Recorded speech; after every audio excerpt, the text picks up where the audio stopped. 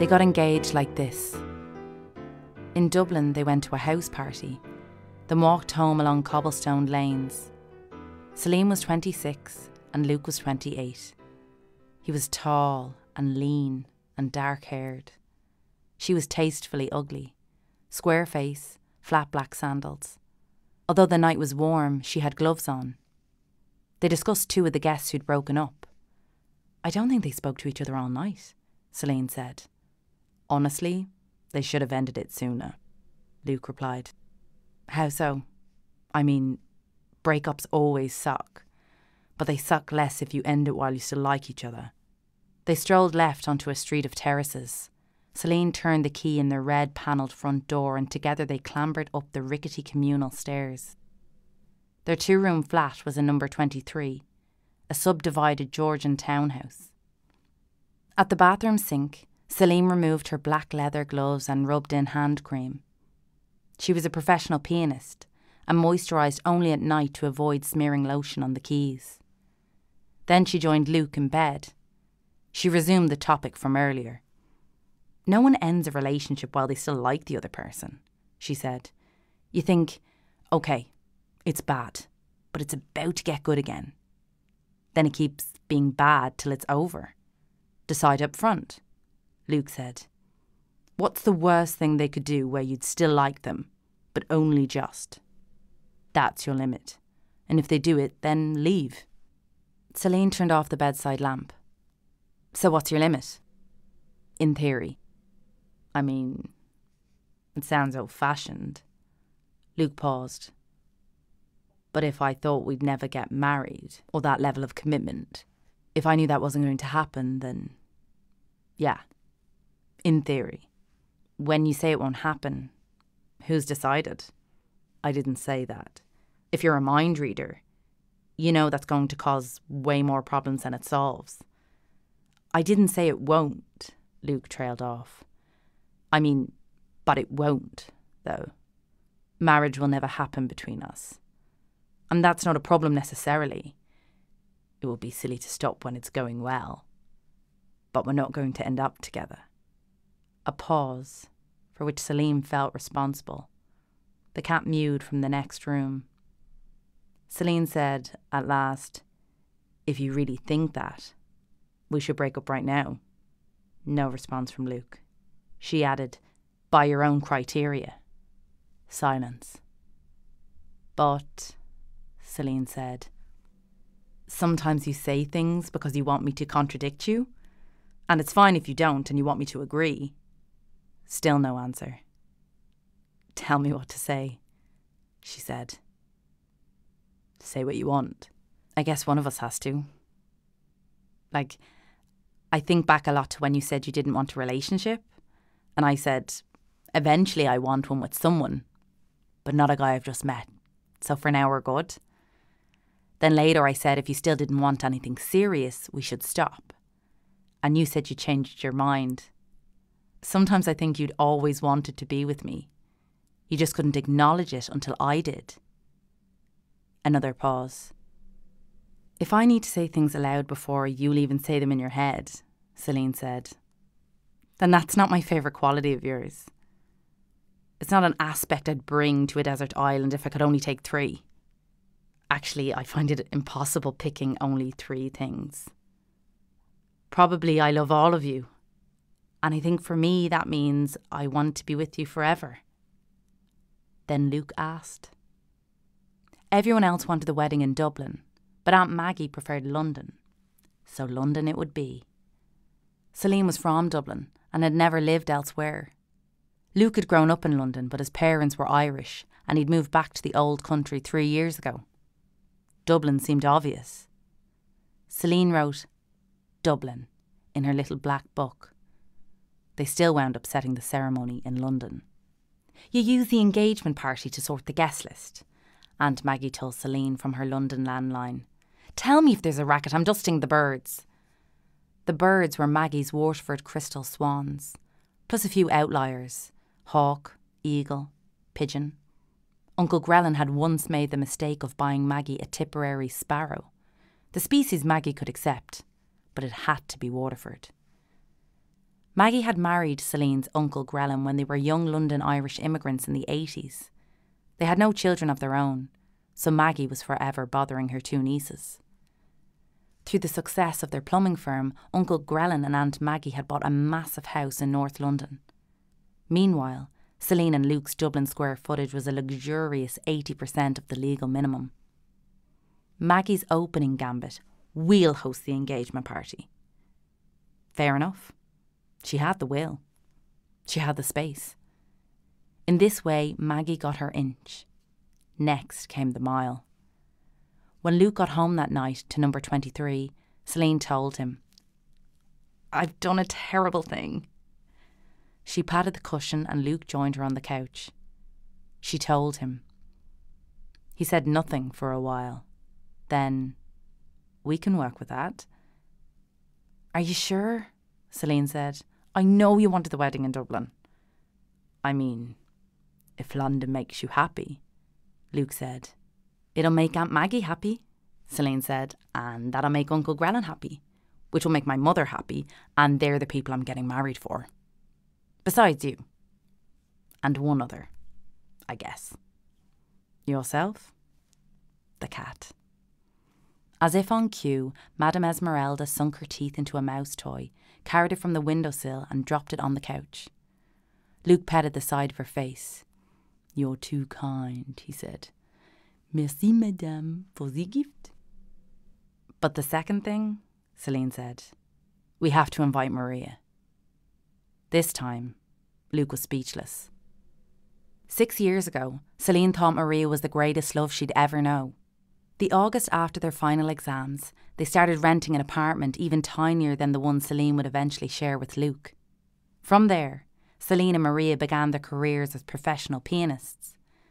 Celine's dream was to earn a living through concerts alone. Maria craved prizes and La Scala and record deals.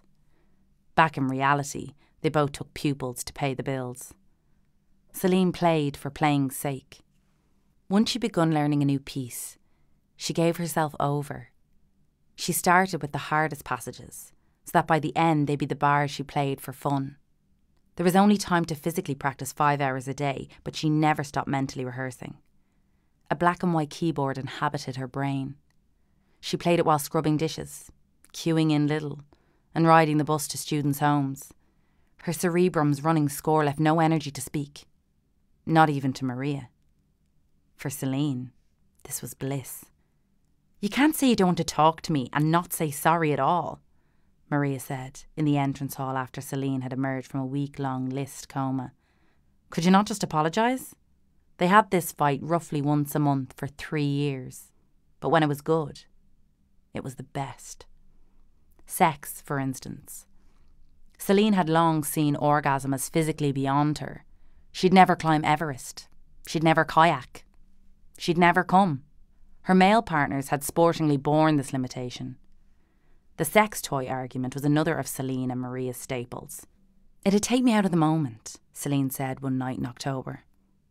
Okay, Maria said, but it takes me out of the moment when I'm the only one who comes. Can you at least try a vibrator on your own? It won't work. I've tried everything, except the thing I'm suggesting. It won't work. Then, after two years of dating and four months of living together, they went to Japan.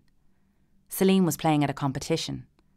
When the judges announced that Celine had finished third, Maria muttered to Celine that the winner had been lethally inoffensive. Celine replied, Third is good. Stop ruining third for me. That night they returned to the hotel room. I've an early Christmas present for you, Maria said. It appeared to be a mint green stress ball in a little glass case. Celine took it out and squished it in her hand. Cute, she said. Thank you. That's really. Oh. It buzzed. Two minutes. It took two minutes. She could forgive men everything but this. If their relationship had consisted solely of sex, Celine would have married Maria. The problem was everything else. After years together, they needed strenuous effort to communicate. Each felt she made herself unhappy for the other. The relationship was always going to end, but the breakup still hurt like hell. After they parted, Celine could still make herself sit down and play piano. But the keyboard in her head disappeared. Someone had closed the lid. She lumbered along Dublin's rainy streets. Each step was slower without her internal soundtrack. Celine didn't date again until the summer. She knew she'd be lost for a time. And she was, until she met Luke. Explain to me once more, Luke said in the sitting room at number 23. I mean, explain to me, like I'm a child, why we need to invite Maria to our engagement party. The cat jumped onto the windowsill and kneaded Luke's books as if braiding bread.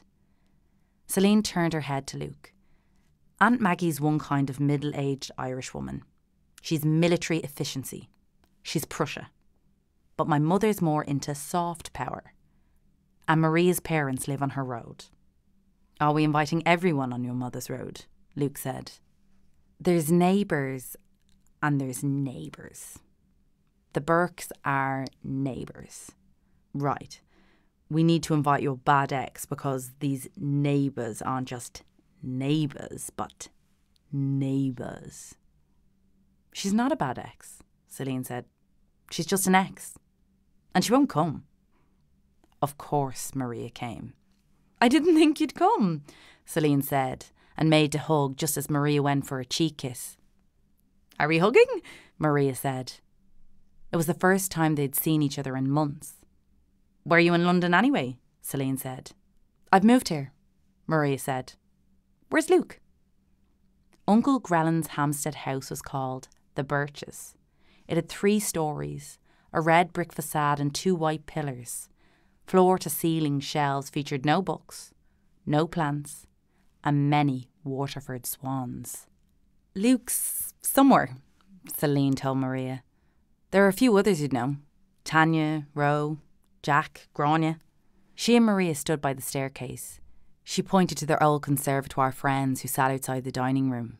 And Phoebe's in the garden, badgering people for smokes. Celine could see her 22 year old sister through the back window. She expressed herself with her usual tragic comic range of gestures and was most likely being rude about Luke. Phoebe had never taken to him. She was difficult like that. But where's Luke? Maria asked again. I was hoping for a heart to heart. You'd need to have one for that to work, Celine said. They both laughed. You're talking to me, Maria said, out of everyone you could be talking to, so I can't be that bad. Brava, Celine said. You've won the engagement party. I'm in the lead. I still need to find Luke. You know, I've barely met him. Celine had last seen Luke around 8 pm when she'd been looking for her camera. She messaged him. He didn't reply. He tended to float off, and he'd never been much of a texter. She knew that, and for the most part, she accepted it. But did he have to do it tonight?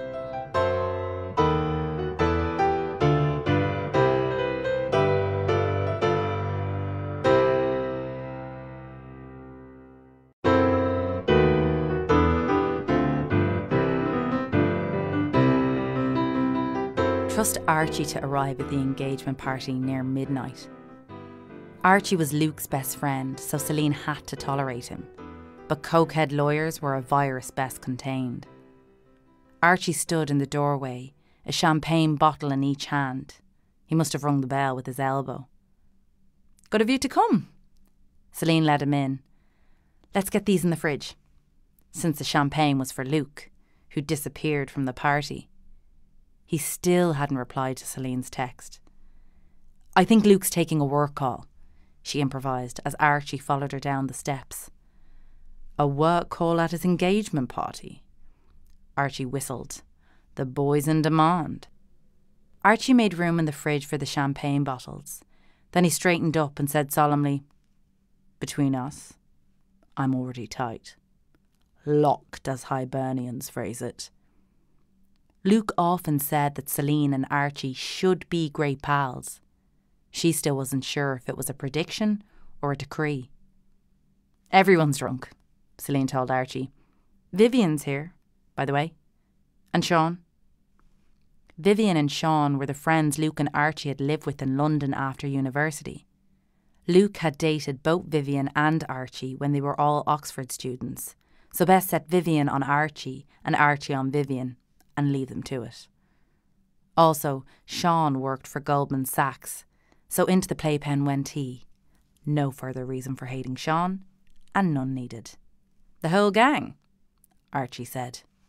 Celine was glad to see Archie go upstairs. Archie gone. Ambrosial. It was true that Luke hadn't replied to her text. It was also true that she'd just seen Luke's name pop up on Archie's phone. But life was beautiful. Four glasses of Chardonnay later, and Celine was genuinely happy. It's herself. The voice belonged to Celine's mother. Bridget wore a cameo brooch, an ornate flourish on her otherwise austere gestalt. Everyone's asking after you, she said. What a crowd. You must be thrilled. Her tone was diagnostic. Bridget had an Irish mother's suspicion of happiness and a doctor's reluctance to grant a bill of health.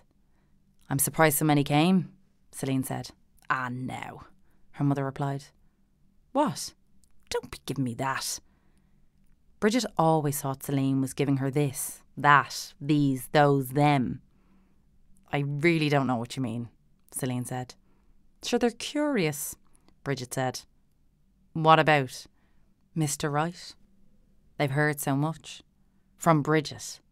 They'd heard so much from Bridget. This was Celine's mother's problem, of her own creation. They'll meet him in time, Celine said. Will they? Bridget scrutinised her daughter. Where is he? If Bridget seemed tense, it was because her own marriage had failed. That wasn't Luke's fault. Celine loved having him in her life.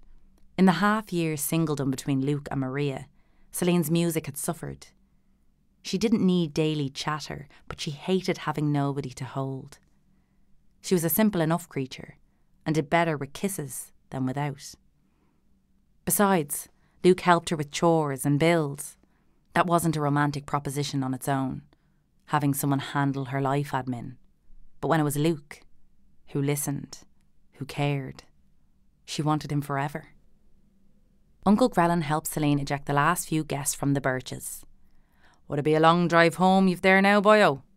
His face had reddened over the past few hours, and his voice was husky from pleasing the crowd. Under his breath, he said, Is it coffee himself is off getting? Who's himself? Celine said, though she knew Grellan meant Luke. Grellan regarded coffee as Luke's shtick, his leitmotif. He seemed to think nobody else drank it. When Celine had mentioned last year that Luke was bisexual, Grellan had replied, Ah, there you go. Then, seeing Celine's bewilderment, the coffee. Celine was still unsure if Grellan had meant bisexuals were apt to enjoy coffee. Bisexuals were merely likelier to disclose such a preference should they have it. Or coffee made one, in fact, bisexual. It certainly made one anxious. I don't know where Luke went, Celine told Grellan. Her uncle resumed kicking out the guests, and Celine looked around the front hall. Her sister Phoebe was nowhere to be seen. She'd come out with some rubbish earlier about going to look for Luke, but she was probably smoking cigarettes in a ditch. Aunt Maggie, in her leopard print dress, bickered with Celine's mother, Bridget, by the staircase. Grellan was the only McGaw to be relied on.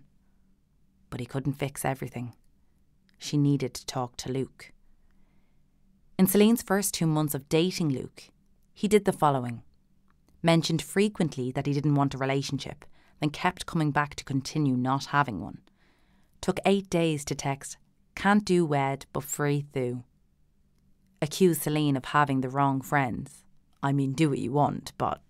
Grania? Accepted invitations to meet Celine's flatmates, sister Phoebe, etc., and then always had a reason he couldn't come. Had sex with Grania and didn't tell Celine. And fine, they weren't exclusive. But why did it have to be Grania? And then when Celine asked, Why didn't you tell me? Luke replied, I mean, the information doesn't seem to be doing a whole lot for you now. Celine vented about the Grania thing to Tanya, another conservatoire friend. Tanya replied, But why do you keep dating him? Tanya was a sensible person. When she wasn't showing you a Simpsons clip from 1998. So this take on matters convinced Celine that something should change. The conversation with Tanya happened on Saturday. The following morning, two months after Celine's first date with Luke, she took him to a large, relaxed brunch place in the Liberties. If you want to date, we can date, she said. If you don't, we stop. I've just been through a bad breakup and I don't want stress. So we date each other properly or it's over. The waiter chose this moment to bring their Americanos. Once the man had left, Luke lifted his cup and drank. This is good coffee, he said, and I do want to date you. So he did. From there, things improved. Yes, she'd pulled her hair out over him in the first couple of months, but didn't everyone at that mad early stage? What mattered was her potential. She'd seen it on their first date, their exchange about talent. He'd believed what most people refused to. She wasn't driven by praise. She made music, and the making was enough. Nobody else seemed to fathom that a woman might find the work itself more compelling than the social approval that followed. If he could believe that, if he had the imagination to see her as she was, then that was enough. She wanted nothing, really, hardly anything, just to be known. But maybe somewhere along his lengthy chain of misdemeanours, she should have dumped him. Sorry for not texting, Luke said. The party was over and he'd finally phoned. Celine lay on the bed. The guest room was pitch black, so Luke's voice felt like something she could see. It was warm as well, in colour and in heat. It was safe. I got roped into a meeting first thing tomorrow, Luke continued. They flew me back to Dublin. I tried to say goodbye, but I couldn't find you. Anyway, just in the door. Madame Esmeralda's asleep. She trusted his voice. It was odd, though, that Madame Esmeralda was asleep. Their cat was usually a nectophilic little demon. Before Celine could mull further, Luke spoke again. Tell me about the compliments, he said. And what went on in your head? Damn him. Actually, I couldn't do a lot with the compliments, Celine said. There wasn't much process to unpack. It was, well done, Celine, you're marrying a man. And I don't know how I did that. You proposed. And you said yes. Luke, Celine said. His pause registered awareness that the mood had changed. Celine continued. There's something I want to ask. Sure. I texted you and you never replied, Celine said. And then later I saw text on Archie's phone. Text from you. Oh, Luke said. Where was he going with this? He added, I think probably what happened. Ah, one of those. Those were her favourite, where Luke talked about technology. What must have happened, Luke said, is I'd sent Archie those texts earlier, but they only got delivered after I'd left. Your uncle's house is near the tube station. Yes, it was just, you know. I wasn't texting anyone. Rushing to make the flight, airport by 12, boarded at half, and now, Jesus, 2 a.m. You must be wrecked. Anyway, I'm back, and cat's asleep. No worries, Celine said. Between night and love you, Celine heard something in the background. A slammed door. Must be the cat. As the sun rose over the birches, Uncle Grellan lifted Celine's suitcase into the car boot. With the gods on our side, we'll make it, he said. Celine hoped so, since they were leaving at 6am to catch a noon flight. Now, you might be a wee bit early, Grellan added as Celine fastened her seatbelt. But get tea. And he handed her a £10 note. When she was a kid, the tea had cost a pound, and the rest was for being his niece. I found out where Luke went, Celine told Grellan. He's back in Dublin. Had to leave early. Work meeting. On a Sunday? Yes. Busy man. Grellan swore under his breath at the perceived incompetencies of fellow drivers. Listen, he said. Is everything. Celine ignored the question. Did you enjoy the party? I did. Your man Luke. You'd be pressed getting a word from him, Grellan added. Luke talks loads when it's just him and me. Grellan examined the sat nav again. Driving seemed to distract him from his general need to fill silences. As long as you're happy, Grellan said, and as long as he pays his half. Celine and Phoebe were the closest thing Grellan and Maggie had to children. For Maggie, this gave her an all encompassing need to control her nieces' lives. Grellan confined himself to statements of what the girls were owed. Make sure he doesn't leave before the vows, but, Grellan added, them priests to be frustrated as it is. It wasn't him. Celine sipped her tea from a paper cup and squinted at the man who wasn't Luke. Black coat, black shoes, that could be anyone. Queuing at an airport newsagent. No. This scenario was too dreary to be his downfall. If he insisted on ruining both their lives, he owed her an anecdote at least. The queue advanced. It was his turn to pay. His head turned by enough degrees that she could no longer deny he was Luke. Maybe he'd been planning to surprise her, or his midnight flight had been cancelled. But why had he told her on the phone that he was already back in Dublin? There was no explanation. She'd have to trust, like she'd done when he'd seemed unusually affable with her conservatoire friends, not just Grania, but Tanya too. Like when he spoke to Archie and Vivian every week, in spite of having slept with them? Because. But she'd trust. She'd given him the benefit of many previous doubts, had spent the whole relationship doubt benefiting, was an old hand and veteran, a major league doubt benefactor, and basically knew the process and was fine. And if she stopped trusting, she'd lose her march. The church's organist would never hammer out Mendelssohn's chords. It would be goodbye to the flat at number 23, and to the cat, and to all the life she knew. She didn't want that. So she'd trust.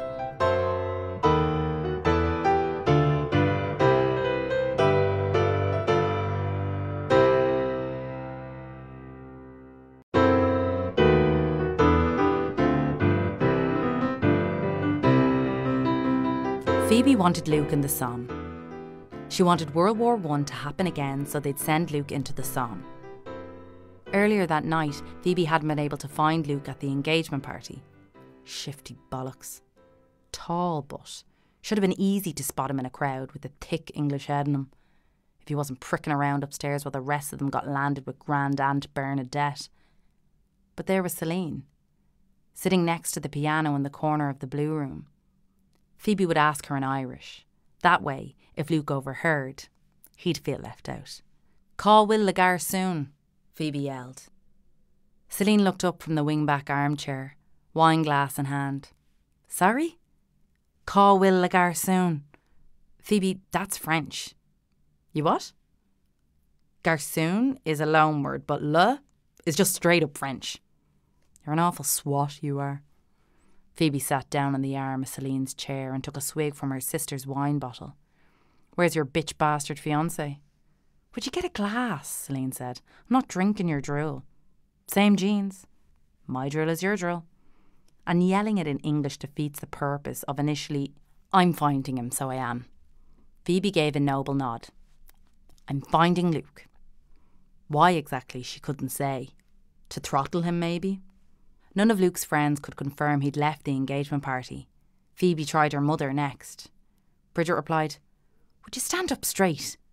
I am, Phoebe said. Straighter. You've not seen Luke. Phoebe scanned the entrance hall of the Birches as she climbed the spiral stairs. No Luke. Plenty of people she could ask for a cigarette, but Luke first. In the upstairs hall, she paused at the window and saw him. Uncle Grellan had found Phoebe a job two years ago, and she was still there now. Grellan's friend Jimmy Coughlin was upgrading his Irish pub to gastro and needed a girl to serve the food. Phoebe had stayed with her uncle initially, then moved to a cramped flat share after getting her first paycheck. She had survived to age 22 with only the usual signs of wear mild nutritional deficiencies, self diagnosed anxious attachment style, self diagnosed avoidant attachment style, stiff neck from excessive phone use. She Googled things like wildfires Europe and heat wave crop failure famine and when will Dublin underwater and why am I lonely and why do I hate existing and how much carpet cleaner to die, and why won't the government let me die? Besides all that, her current problem was Luke. He tried to be pals the first time Celine brought him home for Christmas. The year before, when Phoebe was 18, she'd met Celine's girlfriend Maria. Neither McGaw sister had ever formally come out to the other. Celine had known for years that Phoebe was a lesbian, but Phoebe only realised Celine was queer when her sister casually mentioned Maria. It hadn't been a shock. Phoebe tended not to assume anyone was straight unless they were really in your face about it, which, in fairness, a lot of them were. No, Phoebe only felt she'd lost the run of things the following year when she saw what her sister had moved on to. Since their father's exit when Phoebe was eight, the McGaws had formed new Yuletide traditions. Bridget hated cooking and board games, so they ordered Lebanese and completed a puzzle of Oprah Winfrey's face. On Luke's first McGaw Christmas, he kept asking Phoebe stupid questions. Celine told me you work in Shoreditch. Luke had said. In a gastropub, Phoebe said. Luke drizzled tahini on his falafel. Our London office is in Shoreditch. Maybe I've been to your pub. The customers are pricks. I can imagine, Luke said. He could not imagine. Who did he think he was? By the way, Luke added, can I ask about the Oprah puzzle? Uncle Grellan had bestowed it many Christmases ago. None of them knew why, but suddenly Phoebe was certain that it was the perfect gift and that Luke showed his ignorance by even questioning it. She'd never liked him. Then, a few weeks after that first Christmas together, Phoebe saw Luke in a bar with that German girl Celine had studied piano with. Tanya? Yes, Tanya. The sight of Tanya and Luke wasn't indubitable evidence of wrongdoing. But by this point, Phoebe had spent a year working in Jimmy Coughlin's gastropub, plying all its seedy denizens with booze. She could tell on sight when the ride was imminent, winning to go that pair. She didn't tell Celine. Phoebe talked a big game, to herself at least, about not letting anyone mess with her sister. But she was Hippocratic at heart. First, do no harm. She couldn't see what good would come of ratting on Luke. But he couldn't make her like him. By the time they announced their engagement, Luke was nothing short of a tragedy. When he vanished at the party, a farce.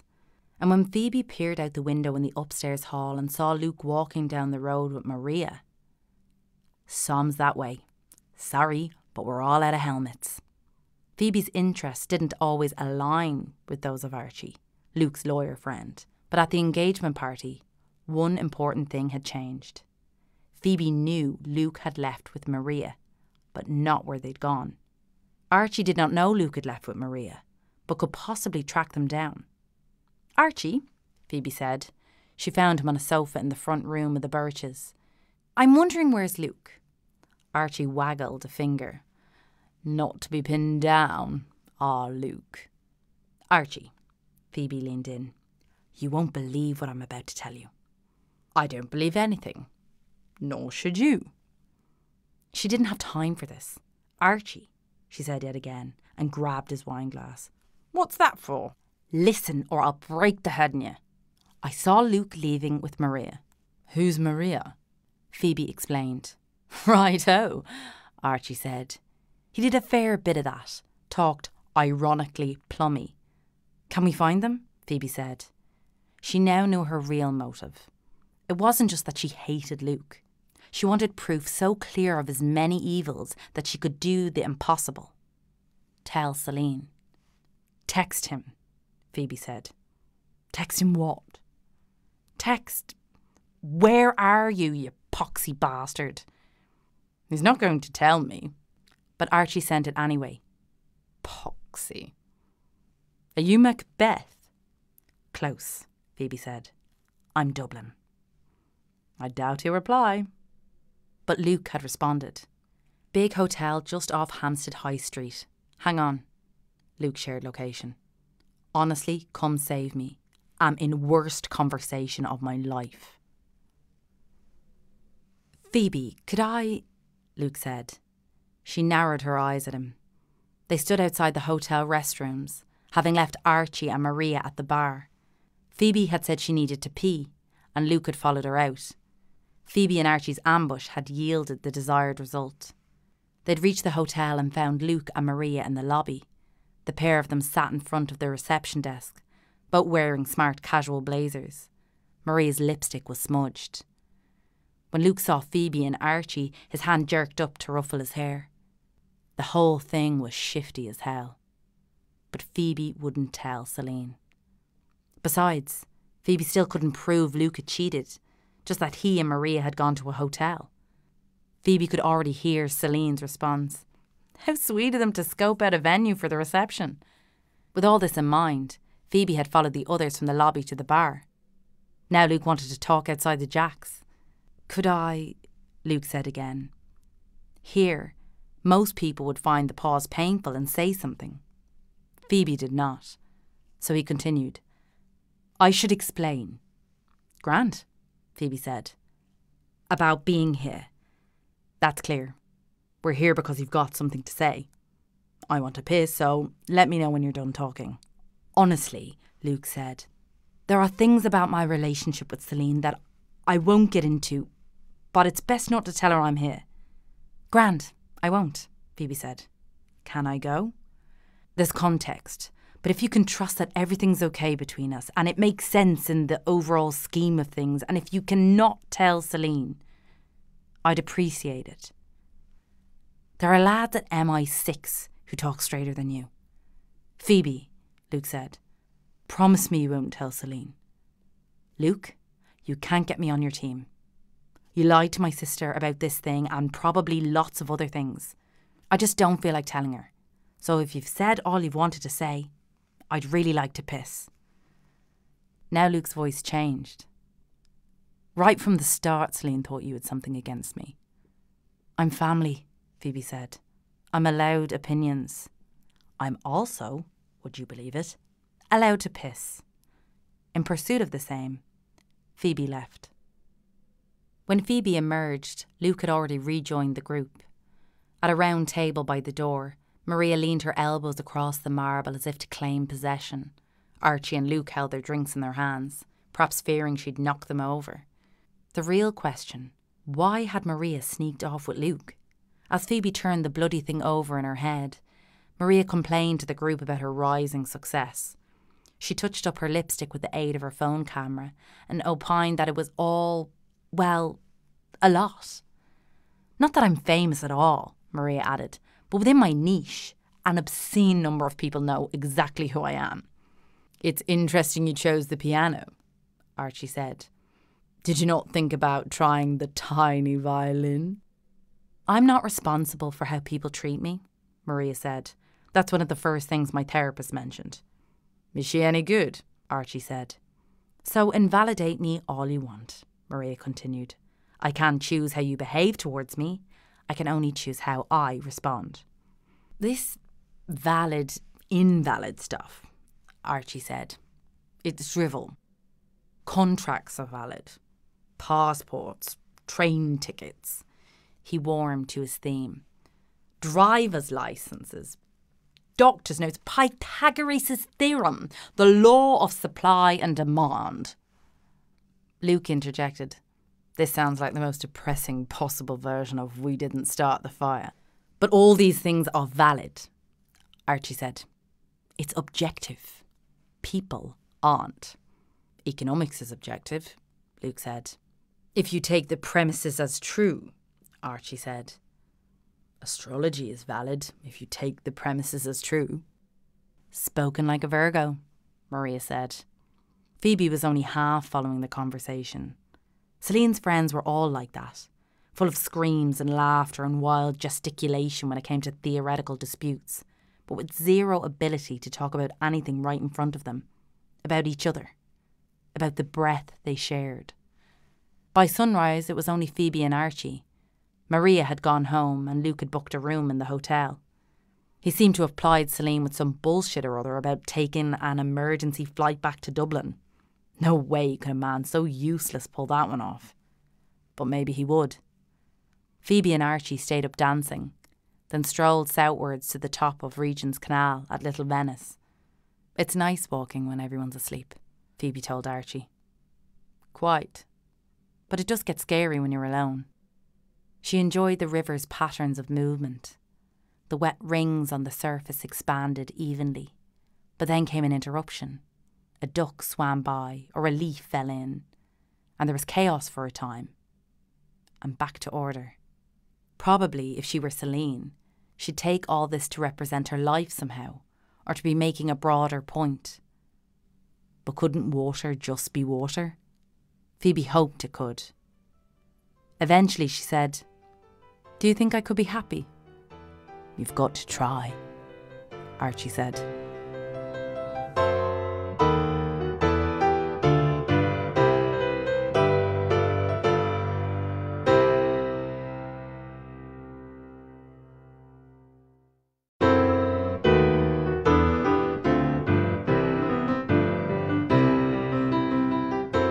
Saturday in mid December, six months after Luke and Celine's engagement party, Archie awoke with a pain and a complication. Pain, headache. Complication, stranger beside him. The freckled man stirred. Archie's East London warehouse conversion studio was his castle, and here was an invader. Morning, Archie said. How's your head? I'm dying, the man said. I've got painkillers. I don't want to steal. Don't be silly. You're my guest. Then the performative reach into the bedside drawer, followed by, Christ, I'm out.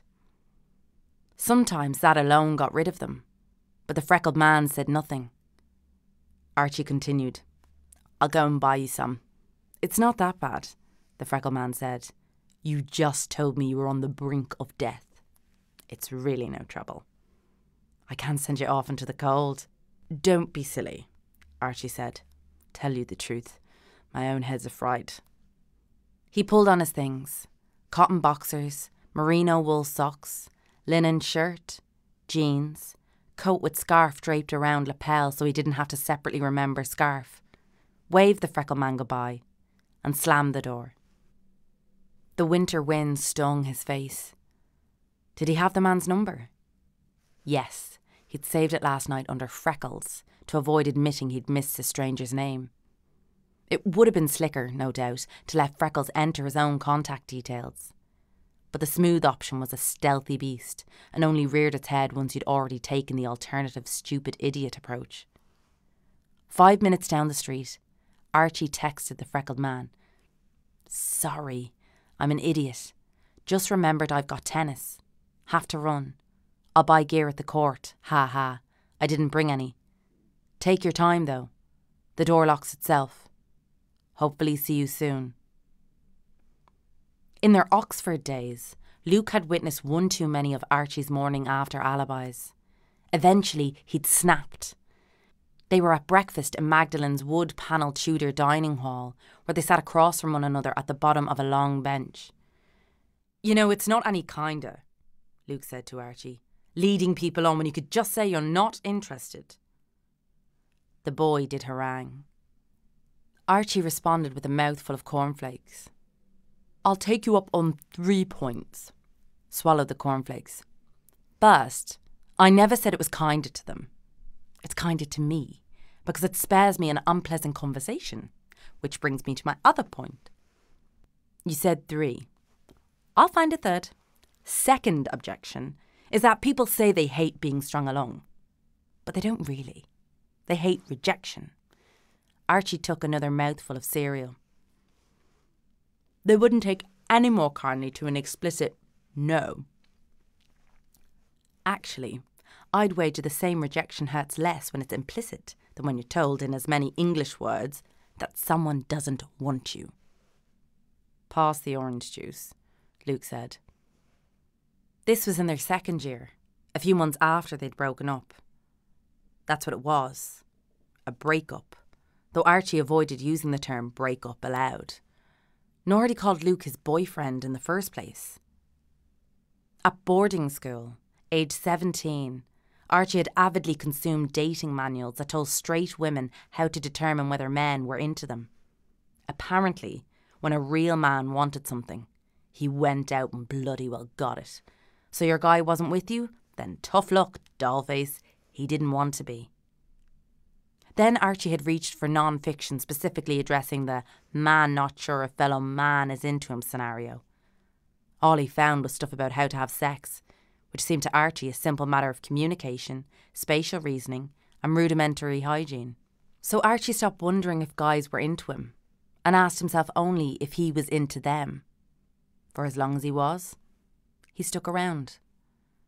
This policy still suited Archie when he met Luke in their first week at university. But as they kept seeing one another, Archie became insecure. Over the first two term breaks, he went to San Francisco with three school friends, then to Delhi with his mum. On neither occasion did Luke give Archie so much as an I'll miss you. Then Luke told Archie that he'd be in Ireland over the summer holidays. They were in Archie's room. Their first year at Oxford was nearly over, and the days were warm and bright. The evening sun shone through the blinds and made golden rectangles on the desk. What are you in Ireland for? Archie replied. Luke stood opposite the bed. The corkboard behind him held Archie's over ambitious to do lists, Polaroids of friends, and fashion cutouts from Vogue. Meeting family, Luke said. Where in Ireland are they? You're saying Ireland a lot. I love Ireland. My dad's side's Irish. You've mentioned, Luke said. It's in Dublin, my family are. It's quite an Irish syntax. The old country never leaves you. Luke, you were born in Croydon. Details. Are you nervous meeting your dad? I won't be seeing him, Luke said. He's in London now. Archie knew not to probe further. His childhood had taught him the main skill required for an upper middle class British man how to tiptoe around others without seeming an outright runt. He was the youngest of four boys and had grown up in a drafty country home where his brothers knocked him about. His mum, Anjali, kept order as best she could, but she commuted to her cyber security firm in London, and whenever she was gone, it was Lord of the Flies. Archie had learned to avoid clobberings through the rotating petty pugilism that constituted family banter. You started a million arguments. None of them went anywhere. And as long as you sided with one chap one minute and another the next, all was well. It was different with Luke, whose brain seemed not to reward him for starting fights. Archie had liked this conflict aversion right up until that evening when Luke said he'd be in Ireland all summer.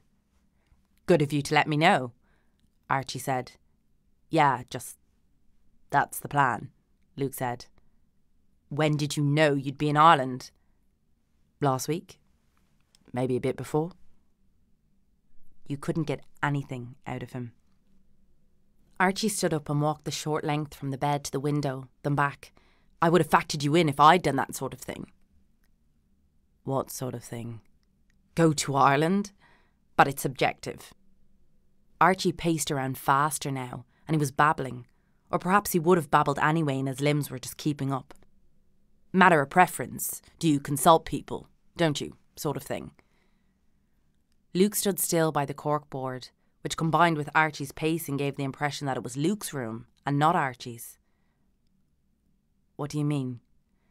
Archie took a sharp inhale. Why didn't you ask me about going to Ireland? What was there to ask? I don't want you to fuck off for months at a time without checking if I mind. Okay. Yeah. Sorry, Luke said. Confirmed. Truly impossible to make Luke fight.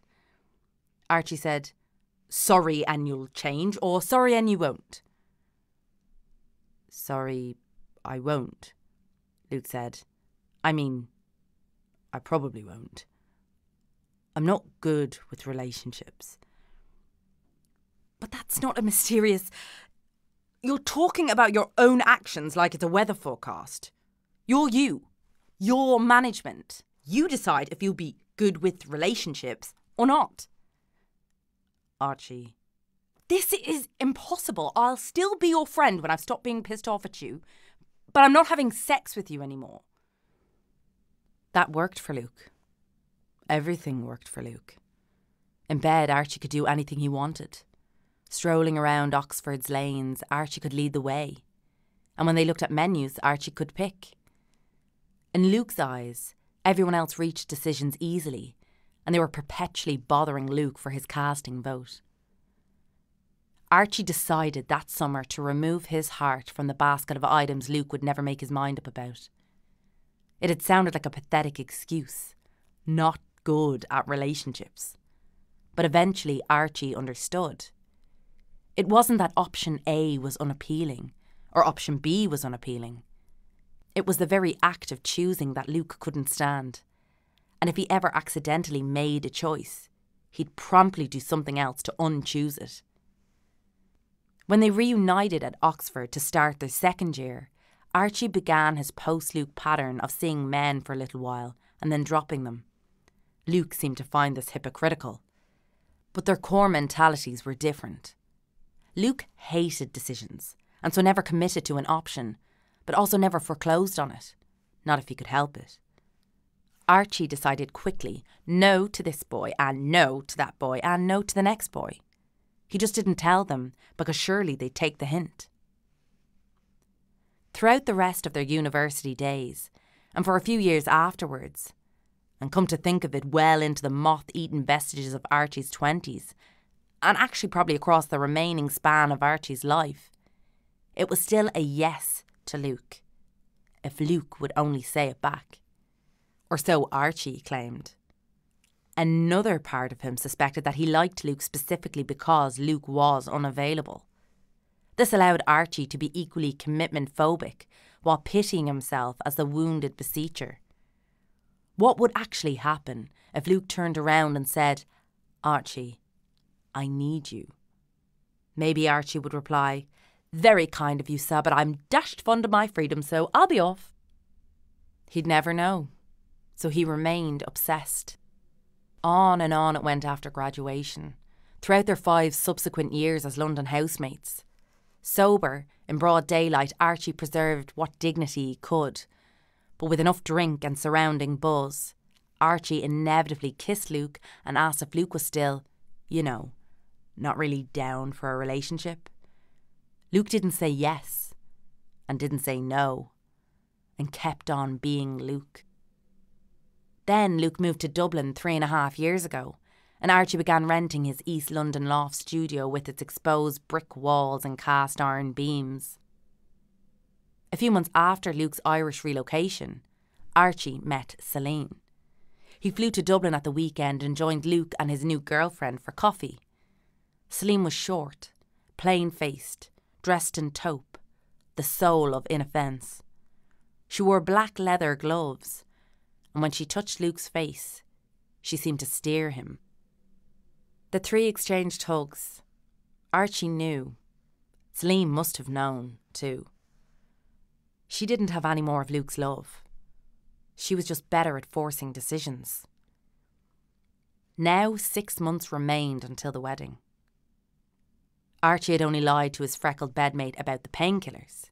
He really did have tennis that Saturday, and would have to arrive early to buy gear. The court was in his law firm, a 20 minute tube ride away. A few hours afterwards, he'd be meeting Luke. The cocaine in his coat pocket would swing him through doubles, but he'd need to top up later, or he'd collapse.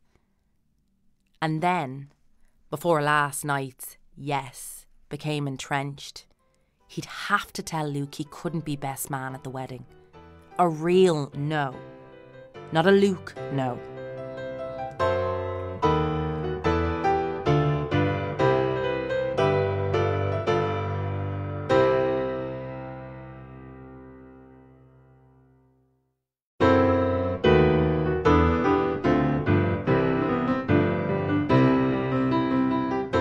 Tell me you won't have the stag here, Luke said.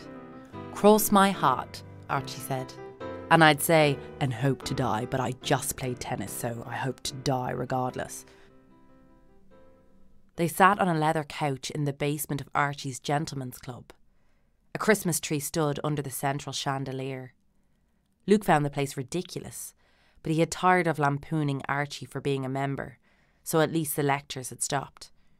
Archie knew very well, thank you, that private clubs were elitist, All the same, you needed somewhere to go. The moment anyone offered him a serviceable alternative, he would gladly take a scissors to his membership card. Until then, he refused to camp out in a workspace cafe like some biohacked freelance life coach. You're also welcome not to do a stag, Luke continued, as long as everyone blames you. That's actually my preferred option. In the six months since the engagement party, Luke had acquired a new haircut and a faint layer of stubble. Does Celine know you're here? Archie said. Why wouldn't she? Since that peculiar night, Luke had been in London every few weeks for work. This wasn't unusual. His tech firm had always flown him around. Still, on each visit, Archie had asked Luke if Celine knew he was there. Luke hated the question, but, as ever, was immovable towards overt strife. Archie probed deeper each time. You could do worse than join a club, Archie said. If you're in London and you don't want Celine knowing, kip out in the rooms, work downstairs, home meetings even. Total discretion. What happens in Mayfair and so on and all the rest of it. Celine knows I'm in London. Above the cherub carved mantelpiece was a clock that read 8 pm. Archie leaned on the arm of the couch. Luke, I've been thinking. I'm sorry to hear that, Luke said. Get well soon. I've been thinking about the wedding. I'm thinking maybe I shouldn't be best man. Luke's tone was relaxed. What's on your mind? Well, Archie said, skeptics might point out that I'm the only person besides Celine you've had a significant. I've had other relationships. Vivian, that was three dates. I'm still not sure what your problem is, Luke said. If you're going to be like this, why come to the wedding at all? You're right. I shouldn't. The club's other members drank coffee, played chess, laughed. The Christmas spirit had visited them early. That, or their bonuses were in. Archie. Luke looked straight ahead. I need you there. Celine should be enough for you. This isn't about Celine. If she's not enough, then don't marry her. Rather coldly, Luke said, Thanks for the advice. I'm not trying to interfere, Archie said. Then don't. But I can't watch you marry Celine. Why? You know why, Archie said, and left. Archie had texted the Kaiser and reached his apartment block just before nine. It was freezing as he left the cab. The Kaiser was either Belgian or Polish. Nobody was sure so they gave him a nickname that was only one border off either way. The bell of number 38 was broken, so Archie knocked, and the Kaiser opened the door. He was two metres tall, which made his pokey residence a particularly comical choice. It was the equivalent of a normal person choosing to live in a hat.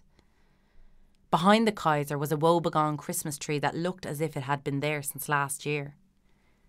I'm not in a Yuletide mood, Archie said. We'll put you in one, his host replied. It sounded like a threat. By the ghastly couch to the left of the room, one woman sat on another's lap. The undermost said, What time's it? Archie checked his phone. Nine o'clock. The bathroom door opened. It was Phoebe. Phoebe stretched her legs over Archie's lap. Archie hadn't seen her since the engagement party six months ago. How do you know the Kaiser? He comes to Jimmy Coughlin's. They'd claimed the right half of the couch. The woman woman compound to their left was quite undisturbed by them. The Kaiser had absconded and had told Archie to man the ship until he returned. Were people never done putting Archie in charge of things? Would you like some modafinil? I'm on the straight and narrow. Phoebe outlined her joints' dimensions with her finger. If you got that from the Kaiser, I'd say it has about as much marijuana as chicken nuggets have chicken. Archie sipped his beer and added, thinking aloud, Stupid argument earlier. Probably, Who with? Archie wasn't listening to Phoebe. Something had turned in him, and he was talking and talking. I should tell him how I feel, he said. It might ruin things between us, but at least I'll move on. Let me disclose something, Phoebe. Let me inveigh. This is important. If you need to be chosen, you'll keep going after people who'll never choose. He puts his beer down. Not the most expedient course of action, but that's what I do. I pick a person who hates deciding and I beg him, decide on me. Maybe it's that I hate choosing too. Maybe I don't want to be chosen after all. And if he ever did choose me, I'd leave. Mind yourself, Phoebe said, and closed her eyes. Then Luke texted. They'd come far, but they always wound up in small rooms. First, Archie and Luke had met in their owlish little studies at Oxford.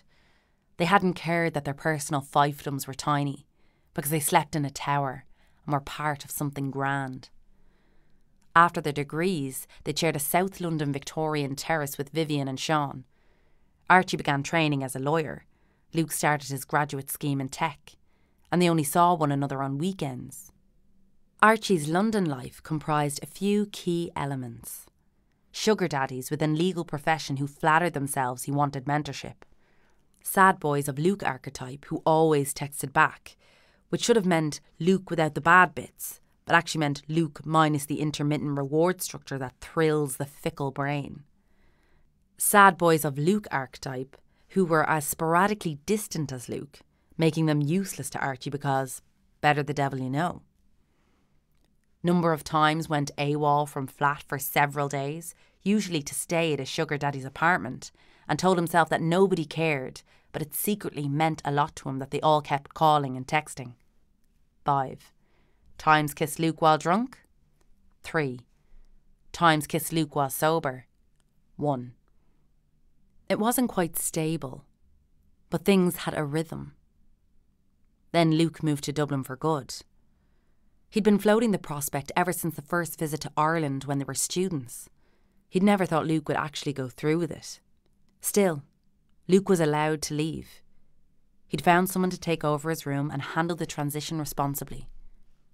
Luke had never promised Archie he'd stay in London, and nothing in their relationship said that Luke had to factor Archie into his decisions.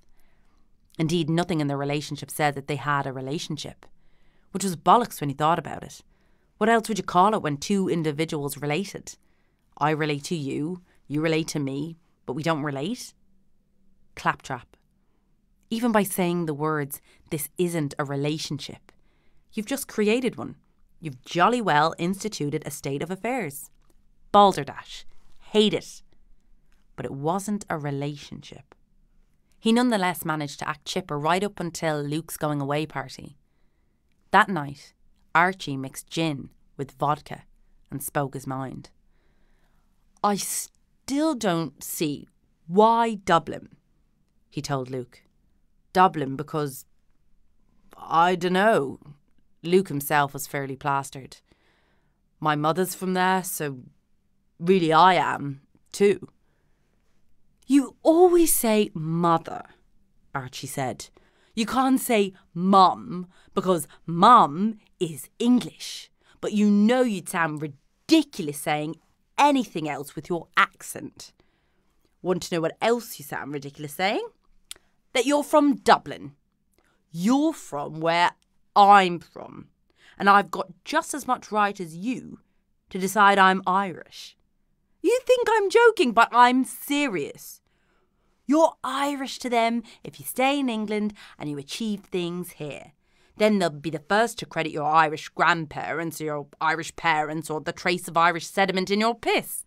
But to go to Ireland and claim you're Irish, forget it. I don't care, Luke said. I want to be in Dublin, and I don't need your input. There it was. Archie needed Luke, and Luke didn't need Archie. The following morning, they behaved as if the conversation had never happened. Luke packed in his room with the door open. Archie said hello from the hall, and they talked about how close Dublin really was when you thought about it.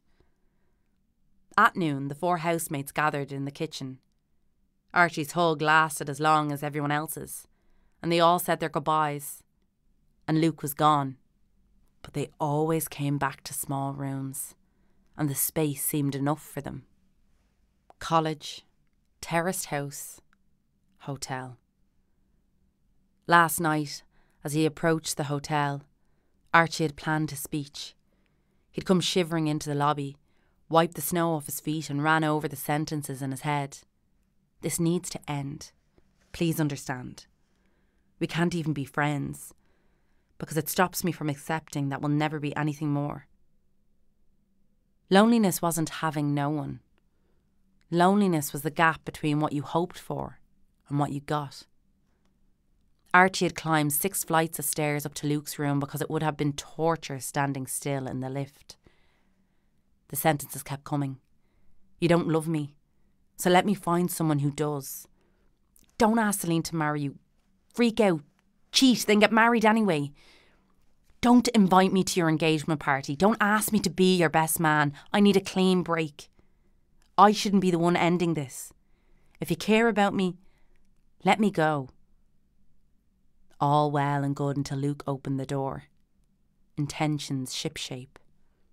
But the room was as small as their previous ones, laid out to jog memories, their old circuits fired anew. Now London awoke, and traffic moved. Soon Luke would catch his midday flight. There was nothing to do on a day like this but make coffee. Archie pulled on Luke's terry cotton robe and hobbled past the bed to the machine. Luke smiled faintly. Archie said, What? Nothing. You. I like looking at you. Of all the hellish things for Luke to say, Archie had a specific and developed and presently very painful fantasy of waking up every morning to make their coffee. Dreams had no business coming true. Say what you will, Archie said, but I wear a good bathrobe. You mean you're a good thief? Archie carried over the coffee tray and sat on the edge of the bed. I can't be your best man now. Can we agree on that? Yeah, Luke said. That one I might have to concede.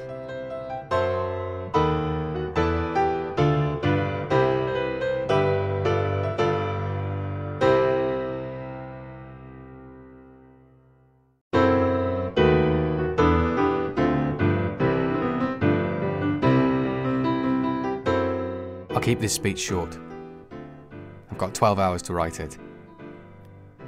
It's late June, 11:18 p.m. Technically, it's 42 minutes until my wedding day. I, Luke, am alone in a hotel room near the church. Celine is at her Aunt Maggie and Uncle Grellan's house.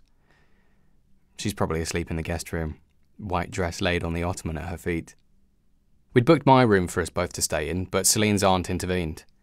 Apparently, we can't see each other for a full day before the vows. I'm not convinced Maggie realises Celine's had sex. Anyway, I won't see Celine until 2 pm tomorrow. If I show up at the church. But maybe I won't. Maybe I'll elope with Archie. A little past midnight now, and still no groom speech. 14 hours until the wedding. Honestly, I have no idea how Celine has put up with me for so long. But here's my theory. The first time Celine asked me up to her Dublin apartment, she made tea.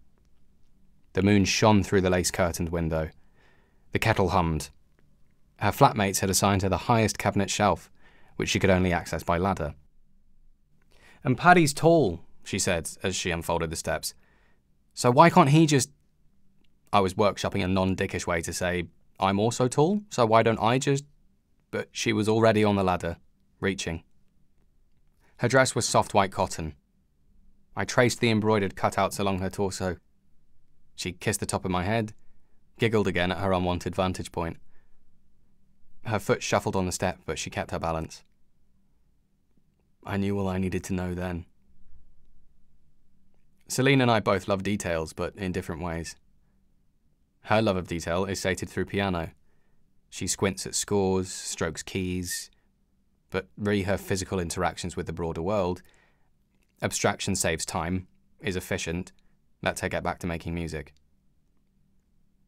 Ask Celine to describe me, she'll give you the vaguest adjectives handsome, or whatever. She can't tell you that I slouch, or that I bring a brown satchel to work, that I like my toast slightly burnt. Once Celine likes the idea of something, it can reek and pinch and clang and she'll barely notice. If you've sold her on a concept, you've sold the lot. Whereas I look for tangibility. I can hate the idea of my relationship with Celine. But if I like to feel her skin through her dress's embroidered slits while lemon tea brews in her Mozart mug, then I'll stay. In those early days, I was the boss. This truly wasn't apparent to me at the time. My assumption was I'd fuck it up, so I thought I'd say up front, I'll fuck it up. Except I didn't put it that way. I said, I don't want anything serious. Knowing Celine as I do now, I realised my phraseology must have kicked her into change Luke's mind mode. So did the rest of my behaviour. She was more fascinated by my red four days ago than she could ever have been by a response. The void was her kink, Try explaining people. Anyway, she was jittery in those first few weeks. Then she laid down her ultimatum. High ceiling brunch place in the Liberties. We ordered two Americanos. When the waiter left, Celine sat up straight. If you want to date, we can date, she told me. If you don't, we stop. I'd only just moved to Dublin. I missed Archie. Honestly, I shouldn't have been dating, and I definitely wasn't ready for a relationship, but I was gone on her since that very first house party. It was up or out, and out I couldn't take. So maybe you're beginning to see why it took me so long to understand that Celine saw me as the boss. Three events made it clear. One, she agreed for Archie to be my best man, back before that whole thing imploded. There's no way she wanted Archie on our wedding photos. She just didn't want to say no. Two, she let me off the hook about bailing from the engagement party. Three, I lied that night about already being back in Dublin. I rang her from a hotel, and just before I hung up, a nearby door slammed. She must have decided not to hear. That, and she probably saw me at the airport the following morning. I'm not certain of this. She didn't quite meet my eye, but her head jerked. Rapid. How you turn when you've just been caught staring. She never said a word to me about that morning. A year later, she still hasn't. What did I tell you? Sell her on a concept, and she'll ignore the thing itself. In a vacuum, Celine's behaviour would be insane. She's a gifted pianist and general savant. Why would she strain herself to hold on to some guy? Especially when she didn't make any such compromises for her ex girlfriend, a fellow virtuoso. Answer heteronormativity is a near ubiquitous form of mania. You've heard the phrase, he's just not that into you. If asked, why don't men commit? You'll say, they will, just not to you. If asked, why don't women commit? You'll say, commit what? Suicide? I mean, I know maybe it's jarring that I complain about patriarchy when supposedly it benefits me. But you know The Crown, the Netflix series about the British royal family? Not a single person in that show is happy. It's because the system destroys everyone who sustains it, even or especially those on top. Anyway, that's where I'm at vis a vis Bride. You'd think Celine would see my early diffidence as a warning. Like, whatever about the unanswered texts, me literally saying, I don't want a relationship, is perhaps a red flag. But Celine has never met sheet music she couldn't crack. She kind of thinks people are the same. And in fairness, I wasn't going anywhere.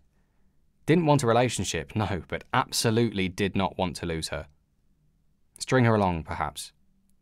Not wedded to net positive life impact, flexible on that point. But I was her recurring happiness destroyer, all hers, and the world's insanities made me worth having. She got me to commit.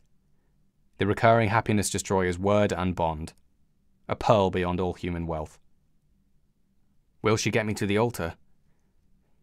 I don't want her daily practice. I don't want her constant financial uncertainty, refusal to go anywhere for longer than two days if there's no piano, and willingness to drop all plans when some pissant orchestra rings her up saying, Please can you learn some Tchaikovsky ass bullshit in a week? If she were a man, she'd be a prick. The haughty professor. Some woman feels responsible for him or she's depriving the world of his beautiful mind. And he's like, Iron my shirts so humankind can know my genius. Tidy my sock drawer so humankind can know my genius. Wait until I've left my study and then kindly clean up after me, but make sure I'm done for the night, because if I rush back to scribble a note and I see you at the desk gathering my plates and mugs, then you'll extinguish my eureka. But if I return in the morning and the plates and mugs are still there, my spark may well also snuff out. Its flame eludes me. I'm not saying it's exactly the same in my case. For one thing, I don't feel morally obliged to nurture a genius just because they're a genius. I don't do Lang Lang's laundry. I also wouldn't do Liszt's.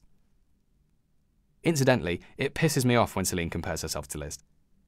Her thing is like, Liszt lived his best life and had loads of pupils and still played for hours a day, so why can't I? Answer Other people's labour. That's how Celine can be a full time pianist.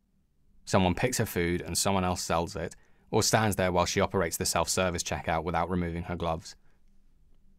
I don't know how to estimate, but let's say for argument's sake, 10 specific people? 20? Living conditions ranging from breadline to slavery so that Celine can play the piano. Not so that, as in nobody signed up. There's no form that says, please write your name if you would like to harvest wheat in service of Western art. But that's the economy in which music is made. This can be true, and it can also be true that Celine's got fewer servants than Liszt. She'll have one less within a few hours. Maybe. Am I sure I love her? Unfortunately, yes. It's 1:22 a.m. now. Wedding's in less than 12 hours. It's still just possible I'll marry her. Celine, thank you for everything. Celine, I'd like to. Celine. Celine. I realised I'd loved you when we'd been together a year. We were in bed. So, you know how I said it was good and you started breaking down what you'd done? I said. It made me realise you always do that. Piano, sex, doesn't matter. Whatever you've just been praised for, your automatic response is to explain how you did it. I told you that, and you said, Sorry, oh my god, I'll stop. Don't stop, I said. It's you. I knew I loved you then. Or thought I knew. But do I really love hearing you think? After all, I don't like hearing you practice. Isn't that the same thing, really? thinking through a piece. I mean, if we had a bigger apartment, but five hours a day in a tiny room. Hardly ever a whole score from start to end. Sometimes the same few bars for an hour. The same few notes, even. Sight reading, drills. Piano uses more of your brain than just about anything else can. It's the hardest your mind works. So if I don't want to listen, then yeah, Anyway. That day three years ago, I decided I loved you. Two weeks beforehand, I was already fairly sure. We stood at the tram stop. It was a spring morning in Dublin, and the cobblestones glistened with rain. The billboards opposite us were papered with peeling adverts for an Abbey play. A busker nearby played guitar, badly, but with rhythm so you couldn't help tapping your foot.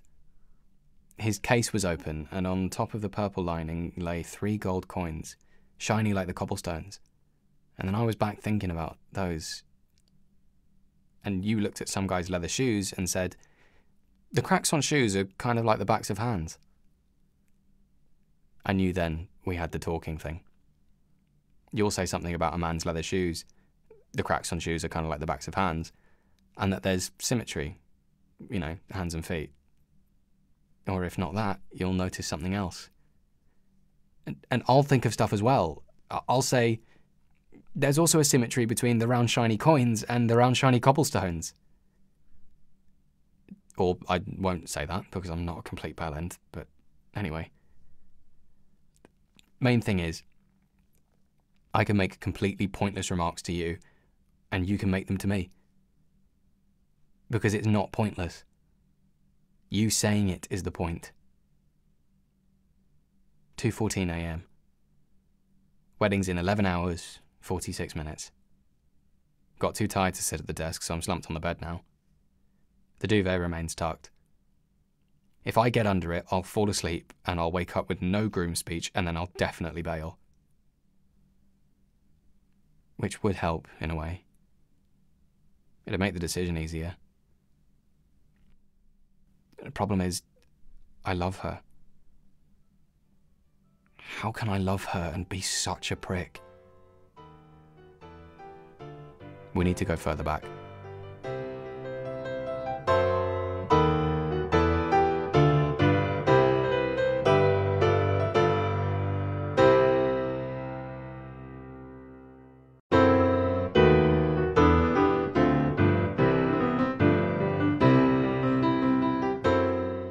Met Archie at university, I was just trying to get through my first day. The Magdalen Junior Common Room was having a freshers quiz, and I'm better at talking to people within structured formats.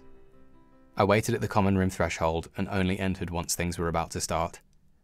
The girl at the sign up desk handed me a label and a marker and said, Write your name and course. I wrote, Luke Donnelly, Philosophy and Theology. Lots of E sounds. And scanned for a team to join. Now here's a candidate, someone said. Deep brown eyes, sharp cheekbones, black hair. Then I couldn't keep looking directly into the sun and instead peered at the mustard jumper and a tag. Archit Patel Stopford. Law. If you're Scottish, I'll kill you, the boy said. Something funny to say back? Nothing came. Finally, I said, I'm not Scottish. Therefore, Donnelly's Irish, the boy said. Yes? Second gen, I said. Both parents from Dublin. Spiffing, the boy said. Luke, I'm Archie. You don't have a team, do you? Ditch them if so. They may say I'm a dreamer, but it turns out, Monsieur Donnelly, I'm not the only one, having finally found person the fourth of Irish heritage. I wasn't yet used to Archie's facetious archaisms and wondered who actually said spiffing. Archie led me to a table with the team name scrawled on a placard Isle Ampersand. Two others were already seated, and Archie gestured as he introduced them. Sean, of New York extraction, several ancestors having fled the great Irish famine from County Mayo. Vivian, Lagos born, moved to Ireland as a child, then to London age 15. He then pointed at himself. Archit to Hindophones, Archie to Anglos, Archibald to racist cab drivers, one Irish grandparent, one English, two Indian, equals third gen something or other. Turning finally to me, Angels, our fourth. He's definitely more Irish than me or Sean.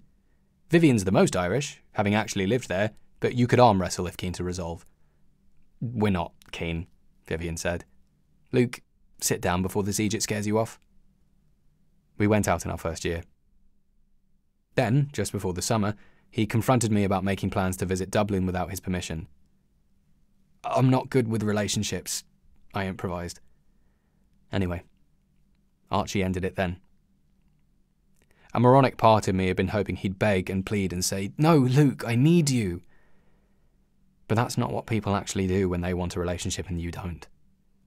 In real life, if they like themselves, they say, Well, bye then. And if they hate themselves, they think, I better go along with this. And they say, That's cool. Let's just see how it goes. So, of the two options, I do think Archie took the better one. Draw your own conclusions about Celine. Next came Vivian. We dated for a few weeks in our final year at Oxford. She dumped me so conclusively that I got over her fairly soon. After our finals, Vivian and I moved down to London with Sean and Archie. The first year in our shared house was the happiest of my life. I helped Vivian practice for interviews until she got her first art gallery job. At exhibition openings, she developed a secret eyebrow raise for when she wanted me to save her from creeps. We play acted a different relationship each night. These ersatz partnerships were far more fun than the real one we'd attempted. It's what Celine later articulated to me as the harmony melody thing, melody being the highlights. Vivian and I did nothing but melody on those nights. Me in a dress down work suit, her in a cocktail dress. We nibbled olives and nodded at portraits. The harmony, the everyday stuff, would still suck if we tried, so we didn't. Then Archie's substance abuse got worse and his demands on me grew. He spent his rent money on cocaine and asked me to spot him. Went missing, came back, and snapped when I'd asked where he'd been. It was too much for me. That, and I was restless. My tech firm offered a move to Dublin, and I went. Then came Celine. Dated, moved into number 23 after two years, adopted Madame Esmeralda after 2.5, and got engaged within three. Now, today, after four years together, we're getting married. 4:33 a.m. Headache. Need more coffee. Or maybe less. Too late for less, so let's try more. About the affairs. I slept with Grania, Celine's conservatoire chum, before Celine and I went exclusive. I didn't like Grania, and she seemed like a bad friend to Celine, and, I mean, was I wrong? But I could sense the talk approaching with Celine. You know, do we make this serious or do we stop? Anyway, the Grania thing wound up forcing the let's date properly talk. And I told Celine, yes. Yes, yes, yes, yes. Don't want a relationship, but can't stand to lose you, so yes. I didn't say all those words, but yeah. Two weeks later, Grania again. And what's her face the following month? Tanya? Who said afterwards, fingers crossed she dumps you soon. Deeply unclear if that's a compliment. When I finally fucked Archie six months ago, after a decade of our being mostly platonic, we woke up in a hotel room not unlike the one I'm in now. And we made coffee. Coffee is a ritual I've never managed to establish with Celine. There I was, half a year after my engagement party and another six months before the ceremony, drinking coffee with Archie. The comparison isn't fair. When I lived with Archie, I needed to ask him not to do coke in the sitting room, never mind show up for coffee hour. I haven't cheated since that night with Archie. Stand up citizen, I know. Luke for president. But you must be wondering what happened at the engagement party. At 8 pm, the hour we'd told guests to arrive at the Birches, I overheard Celine saying she couldn't find her camera. Since we hadn't invited anyone who'd been raised by wolves, this gave me plenty of time to look for it before a single person actually showed up. Upstairs, I started my search with the usual question Where would I forget to look if I were Celine? The birches filled with gabbing relatives, all in awe of Celine. I heard them congregate, even identified my own friends Vivian, Archie, Sean, and couldn't move. If you're wondering why I surround myself with such brassy people, it's because I'm a coward on my own. I haven't become any more socially confident since my teens. I've just learned to always have a Celine or an Archie or a Vivian, or even a Sean. But there I was, trapped, too nervous to emerge alone, even though they were all literally downstairs. I adore my brain, truly. Anyway, someone rapped on the door. Without waiting for a response, in walked Celine's ex, Maria. An hour later, we were in a hotel lobby. Maria talked. The speed of her articulation had smeared lipstick on her teeth, but you'd need a man braver than me to tell her.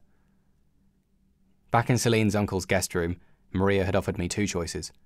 I could sneak away with her and answer her questions, or she could yell downstairs that she'd found me. The first option had seemed more attractive in the guest room, since it enriched my present self at the cost of future me. Now, future me was current me, and I wasn't loving life. First question, Maria said. Why are you hiding from your own engagement party?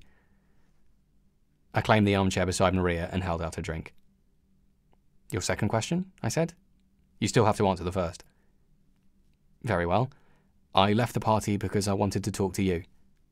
The truth, please, Maria said. More than I wanted to talk to Celine's second cousins. Keep going. There's also a grand aunt, I said. You're threatened by Celine, Maria said. You got nervous at having hundreds of people assess whether you're a good enough trophy husband. Celine's many things, but I wouldn't have said rich enough to buy an entire person. That kind of trophy spouse doesn't confer status at all. Not anymore. It's crass to marry someone whose sole talent is being hot. More's the pity if you ask me, because the hot spark joy wherever they go and ought to be nurtured like plants. But what's still acceptable is choosing someone with forms of cultural capital you lack. It can easily be mutual. Celine's also a trophy for you. Okay, I said, meaning I'd had enough of the topic. Without you, Maria continued, Celine would seem like an out and out head case. Made up job, zero social life, but with a nice stable husband, she's merely eccentric. I see. And Celine gives you culture. Without her, your life appears barren. Fine. To me, at least. I gathered. Now, Maria said, my second question why is Celine with you? Haven't you just answered that? To your own satisfaction, at least. No, Maria said. I was talking social utility. Want to hear my theory? No, but I have the wildest hunch that I'm about to. Celine likes men who are effeminately handsome, e.g., you, Maria said, and women who are mannishly beautiful, e.g., your correspondent. It's the same with personality. She likes bossy women and men who do what they're told. Interesting. How often do you make her come? What? I've shocked you, she said with sleek relish. Here's my guess 40% of the time. The other 60, you delegate to her green Japanese vibrator. I spilled my drink. Maria added, Guess how I knew? Then Phoebe and Archie walked in. 8 a.m. Six hours until the wedding. I've worked out why Celine's Uncle Grellan is so weird about me and coffee. Grellan notices someone doing a them thing, and he loves people, and it's funny to him. That's what Irish dads do. They assign everyone a thing, and then they keep asking the person if they still do that thing. If you're meeting a middle aged Irish man and you wish to determine the content of his Irish dad joke, you could wear a yellow hat. Then, every time you see him, he'll go, Ah, now what happened to that yellow hat there now? They're showing they remembered your thing. And they choose their things randomly, don't get me wrong. There's zero overlap between what you think is your thing and what an Irish dad deems your thing. But they're saying you matter. I look at Grellan and on some level I think, if I were to decide the meaning of life is happiness, and if I stopped trying to be better than people, and if I tried to love them instead, it would be an investment. I'd get to be Grellan by Grellan's age. I once saw myself doing that with Celine. But Celine doesn't love me just for existing. Celine loves that I listen to her thoughts, do household things, sometimes make her come, and otherwise happily delegate the task to her green Japanese vibrator. Always happy to, until I learned who gave her it. A robot could do all that. More efficiently, read the vibrator. Whereas Grellan, and not just Grellan, Archie. Archie and Grellan are two men whom I love just for existing. I've had enough presence in Archie's life that we've ended up doing stuff for each other. But that's not the point. And Grellan has done nothing for me except bring up what are by now the world's most discussed coffee beans. Nonetheless, Grellan, weirdly, is the kind of man I want to be. I used to think I'd get there with Celine. Used to. Then I cheated and lied, and we got engaged, and I cheated and lied some more. Now I can barely look at her. That's not Celine's fault, obviously. But the relationship is making me worse. Worse than what? I'm not sure. But baseline Luke can't be this bad. Inconveniently, though, I still love her. I'm the man I was four years ago when she stood on that stepladder. I still want her to hand me the Mozart mug.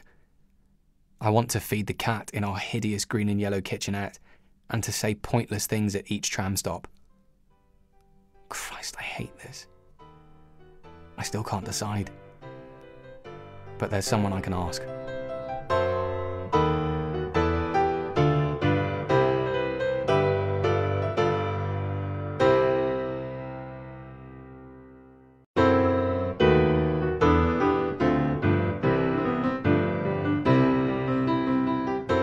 Here's my understanding, Vivian said. Yeah? Luke looked like he hadn't slept in 40 years, including 11 that he hadn't been alive for. Vivian picked up three raspberries from the plastic punnet, chewed them, and wiped the juice from her mouth. She told Luke she'd expected to be fed and that she hated hotel food. Accordingly, he'd stepped out to Sainsbury's local. The bed served as their table cocktail sausages, vegetable samosas, sushi, fruit, a one litre green smoothie carton, all laid out in a towel. A funny sort of breakfast, but those were the best. Do you want the last samosa? Vivian said. Go ahead. She took it and bit off a corner. Crispy. All right, she said. You don't like the idea of marriage, or certainly not the kind you'll have with Celine, where all your needs and goals are sacrificed for her career. But day to day, you love the tiny intimacies. Yeah, Whereas Celine loves the idea of your relationship, but she probably doesn't enjoy the actual experience. Honestly, true. So, Vivian said, you are in mutual unrequited love. I didn't think that was possible, but lucky us. Also, you've cheated on her multiple times, and her ex dragged you away from the engagement party. And then you lied to Celine about where you'd gone Celine almost certainly saw you at the airport the next day and she didn't say anything. So then you realised you're both unhappy, even if Celine won't admit it. Correct.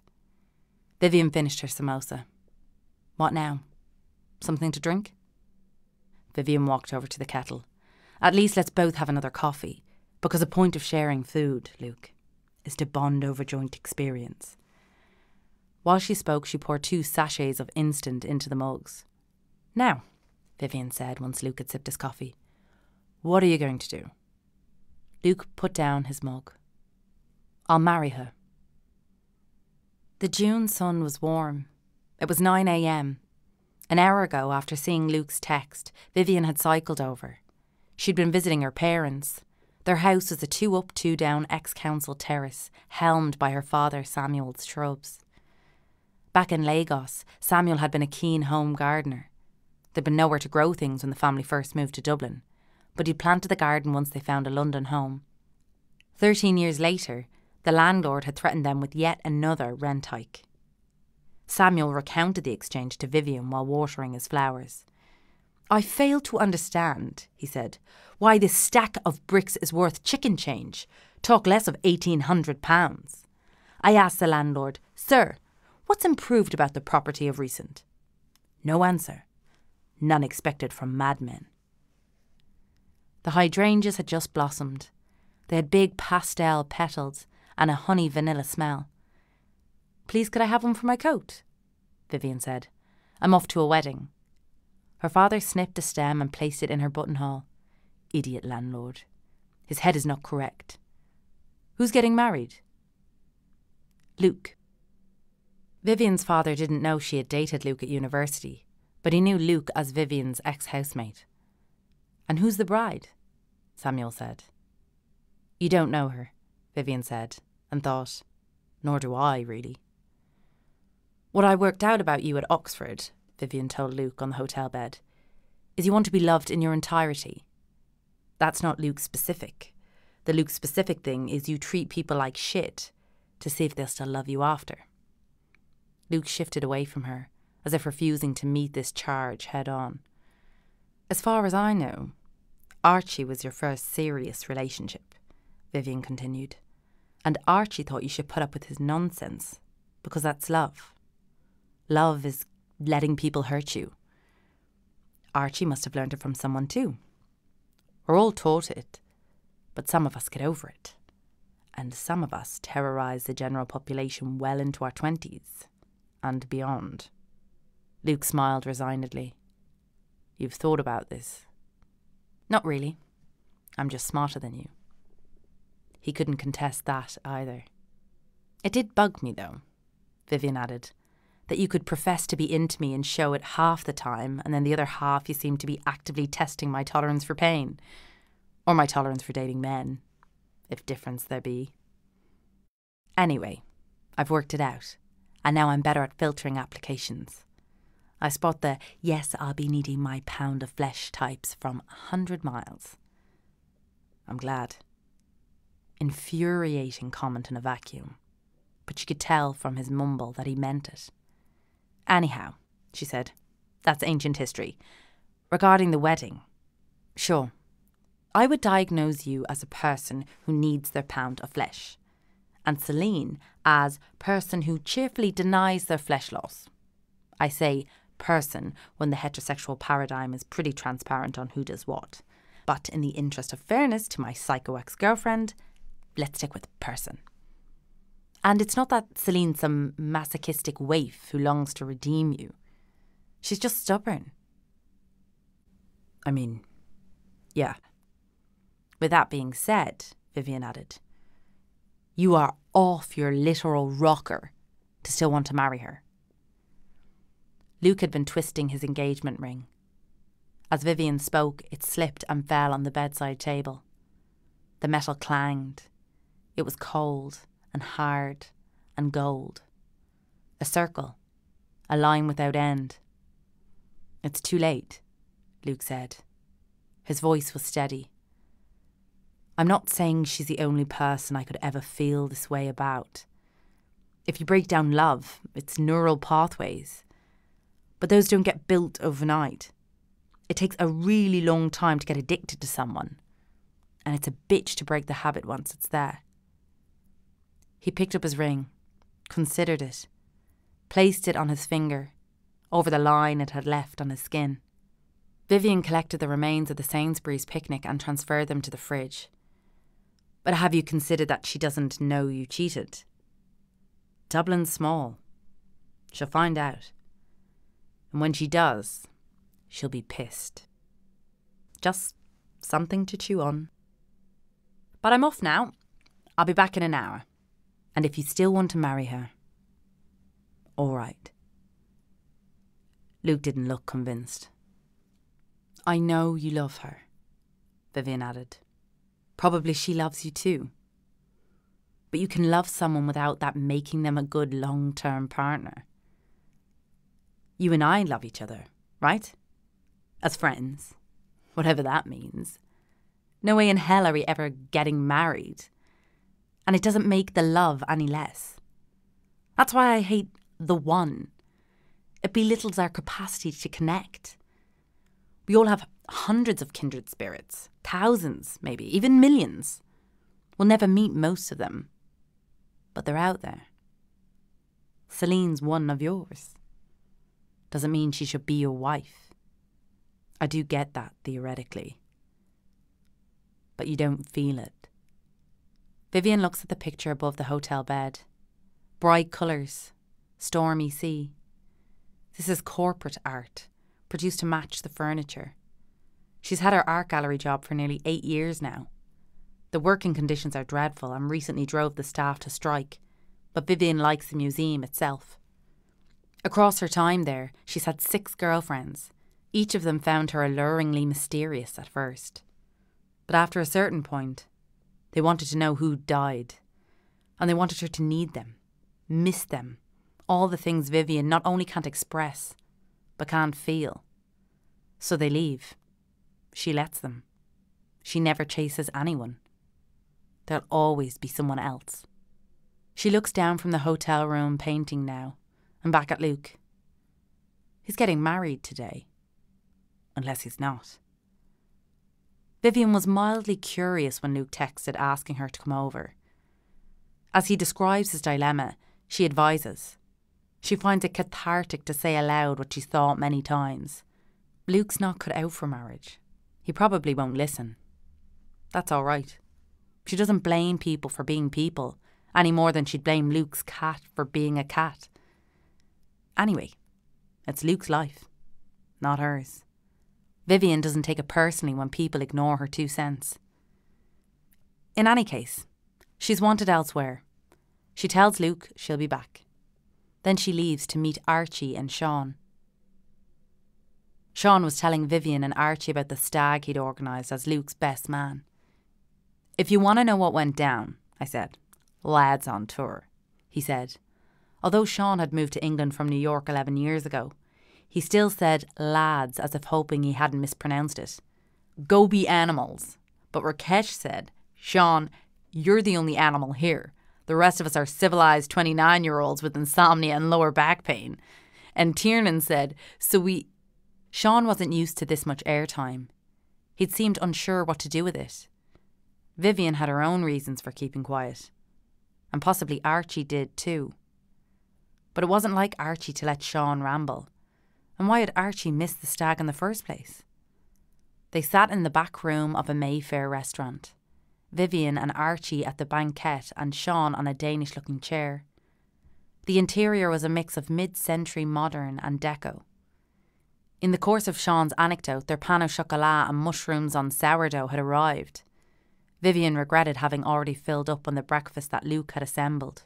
Sean was treating them to bottomless, so they accordingly gulped the Prosecco. Vivian, by the way, Archie said, your dress is ravishing. An inelegant change of subject, but she'd go along with it. Vivian held the silk to the light and showed Archie its shimmer. Charity shop. Proper charity shop, Archie said, or Oxfam boutique. There's no flies on this one, Vivian said.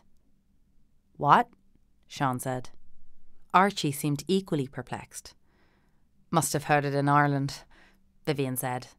Such was the nature of growing up in three countries. She usually remembered to sift this or that out of her speech if she thought the other person wouldn't understand, but the Prosecco was doing its job. Sean, Vivian added, tell us what you did for the stag. We went to Scotland, Sean said. Glasgow, Vivian said. Edinburgh. Sean poured more Prosecco for all of them. The cobbler? It's a hill, and we all just climbed it. Tiernan's foot hit a rock, and he dead ass nearly died. Who's Tiernan? Archie said. Luke's cousin, Sean said. I told you? Right ho, Archie said. Sincerest apologies. I'll remember Tiernan in future. Brah. Will tattoo name on eyelids. It's not deep. Wrists, too. Archie finished his toast and reached for a pastry. One question, though. Shoot, if you don't mind me asking. Dude, what? Who's Tiernan? Vivian laughed. She'd been savouring her Prosecco while the boys skirmished. To her, they were ants. The people at her gallery, too.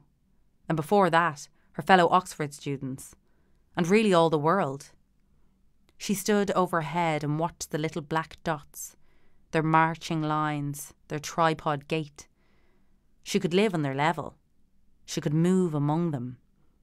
But she didn't have to. And often enough, she didn't want to. The persiflage of these particular two ants amused her so greatly that only at 10 am did she check her phone.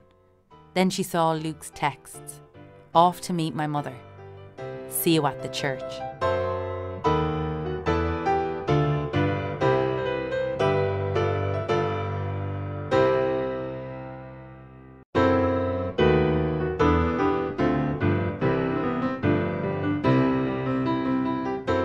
Upstairs in the entrance hall of the Birches, the photographer tested his camera. He was a cousin of Maggie's and had been hired for that reason. Nepotism, darling. C'est la vie. As he adjusted his lens in front of the preening bridesmaids, he wondered if this was quite why he'd gone to art school. Now, one of the bridesmaids stomped up the stairs. He switched to continuous shooting. Her real step was clunky and her pout rather smug but he captured a split second where she seemed to be airily ascending, chin high, smooth arm on walnut banister. Phoebe reached the guest room. Should she knock? She did. It's me. Celine had broken a Waterford swan. There were several factors involved. First, her period started. She awoke with cramps, and on the toilet she wiped off a clot of blood. Perfect. She deliberately scheduled the wedding to avoid this, but the stress of planning had thrown off her cycle. She put in a tampon and viewed herself in the mirror. Her eyes had looked tired for months. Would the purple shadows fade when they finally said their vows? Since last June's engagement party, Celine had stopped internally playing the piano as she went about her day. It was like losing a friend. She'd replaced the habit with headphones, but passive listening didn't offer the same companionship as the 88 keys that had once resided in her brain. She did have Luke. But the lie. Not only his, hers. The, it's fine lie. The, I completely didn't see Luke at the airport after he said he was already home lie. The, I have no misgivings whatsoever about marrying someone who lies lie. But she loved him. But he'd lied. She returned to the guest room and texted Tanya, her old conservatoire friend and bridesmaid, with the word period and several skull emojis. Tanya helpfully sent back a YouTube compilation entitled The Simpsons Every Time Homer and Marge Got Married. Celine watched the video in bed. The first clip included casino music at the start of a drive by ceremony. The second clip featured a few bars from Mendelssohn's Wedding March, transposed to sound Simpsony. It was 8 a.m. now. She could run downstairs to the piano and play the march. In the blue room at the front of the house, Celine lifted the lid. The piano was out of tune, but each note was exactly a semitone lower, so the gaps were the same. The instrument just had a bit of a head cold. After a few rounds of scales, Celine Googled the sheet music on her phone and placed it horizontally on the desk above the keys. Celine loved Mendelssohn, and she loved The Simpsons, and she even loved Tanya for sending her that stupid clip and she was happy to be alive. And if fast meant happy in music notation, then so be it. She'd go faster and faster and faster down the aisle. And the glass swan fell.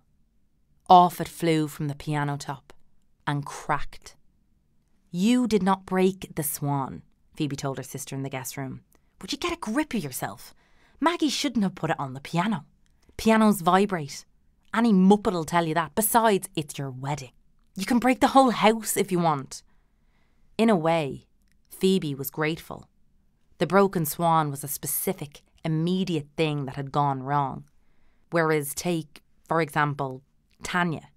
She was such a tiny part of the overall picture. She was maybe number 17 among the top 20 reasons Celine shouldn't marry Luke. With any other couple, the groom probably cheated with one of the bridesmaids a few years back would be a calamitous and singular blow. But for this happy couple, on this happy day, it was utterly business as usual. We could do, Phoebe said, head the ball, thingamajig, gold dust. Sorry? Celine said. Phoebe sat in an antique brocade chair, and Celine stood by the dresser. The bride already had her gloves on. The swan's shattered glass must have spooked her about hurting her precious hands. You glue back together, Phoebe explained, then do gold along the crack. Kintsugi. Swat. But I'm telling you, Maggie won't notice. Hasn't she a million swanny yokes? Celine held up the broken halves. The neck and beak were clearly a swan's.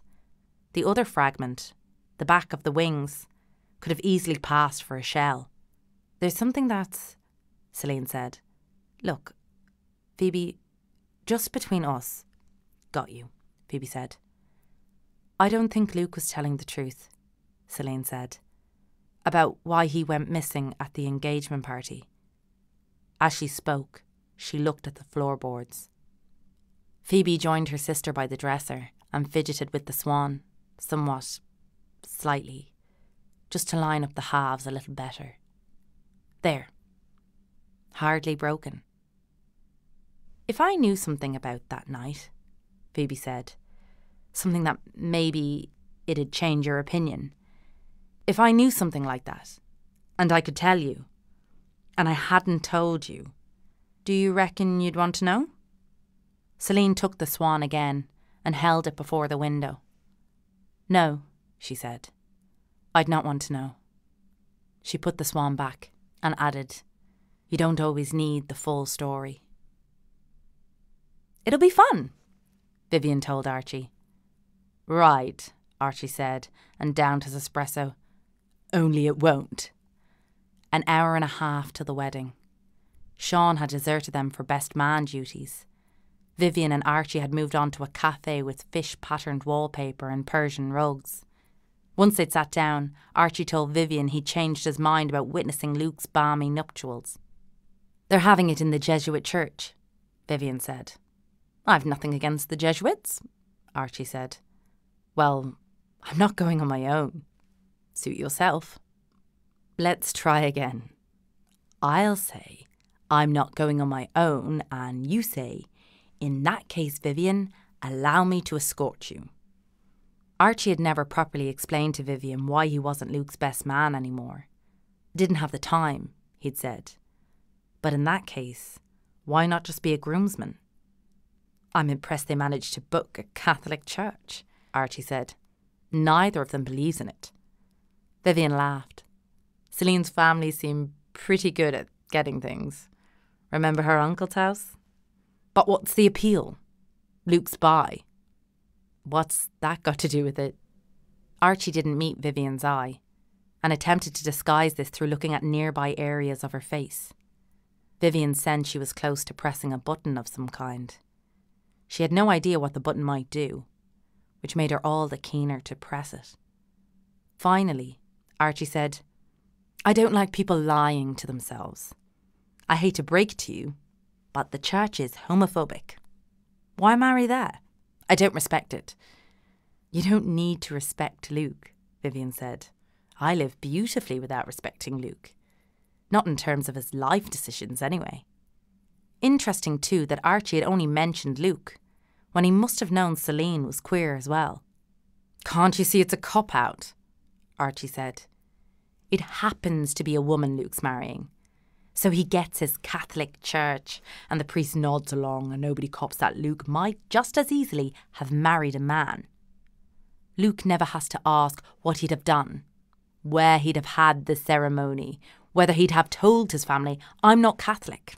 None of you are meaningfully Catholic. I don't owe you a Catholic wedding. Vivian put down her coffee mug. That sounds to me like Luke's problem. Archie looked as if he had more to say. She doubted she'd get it out of him in the cafe. She added, Shall we walk? They reached Little Venice and ambled along the canal. Come to the wedding, Vivian said. Luke wants you there. I know, Archie said. But, gently as she could, she touched Archie's arm and said, are you not over Luke? They stopped walking. Archie's face confirmed a correct guess. Archie. Vivian hugged him. Archie, look at me. Luke is some guy with a job. Okay, but I'm also some guy with a job. No, you're you. So what'll we do? Archie turned to Vivian with a determinedly casual smile. You've got the wedding. I was only going for entertainment. You can entertain me instead. I want to go now. You know? Put the full stop on it. Vivian sighed. None of you learn. Learn what? Let me drum this into your aged head. The good Lord gets us over people when we get away cut ties. Stop dilly dallying into their lives like a semi neglectful godparent. Foolishness. But if you want to go, she held out her arm. Let's go. Dapper, Vivian told Luke. Forty minutes to go. Luke stood with Vivian and Sean in a small bright room at the back of the church when she'd left his hotel room and he told her he was definitely going ahead with the ceremony, she texted back a reproach You are actually insane. But seemed to have forgiven him. That was Vivian for you. Shocked or amused at her Ant Farm's locomotions, but never angry, never scared. In any case, Vivian had assigned herself the task of critiquing Luke's tux. I await your comments, he told her. First note, Vivian said. Yeah? Would be the coffee stain. He couldn't believe it. His eyes hadn't left his Americano the entire time he'd been drinking it. but there the blot was, right on his chest. Don't touch it, Vivian said. You'll make it worse. Sean, get vinegar, or vodka works. Where? Use your phone. Before Sean was out of eyesight, let alone earshot, Vivian added, There's learned helplessness, and then there's can't even teach themselves that much. How long have I got? Luke said. I don't know. Text Celine. Then Luke was alone.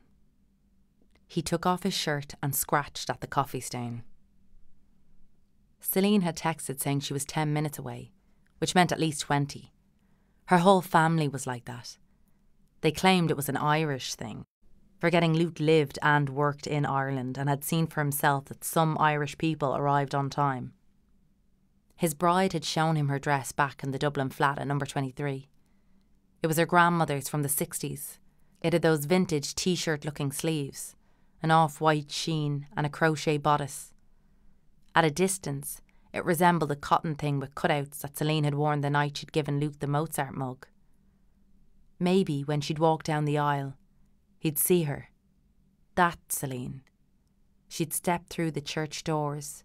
He'd turn, and there she'd be. And closer she'd walk to him, and she'd be near, until she wasn't chemistry or chance, but an actual person. The hair had risen on his arms. He twisted his ring, paced, twist, pace, twist, pace. Shirt stuck to his back, sweating buckets. Christ. Thirty minutes left. A knock on the door, and Vivian's voice. Guess who? You, Luke said. Guess who else? The door opened, revealing Archie.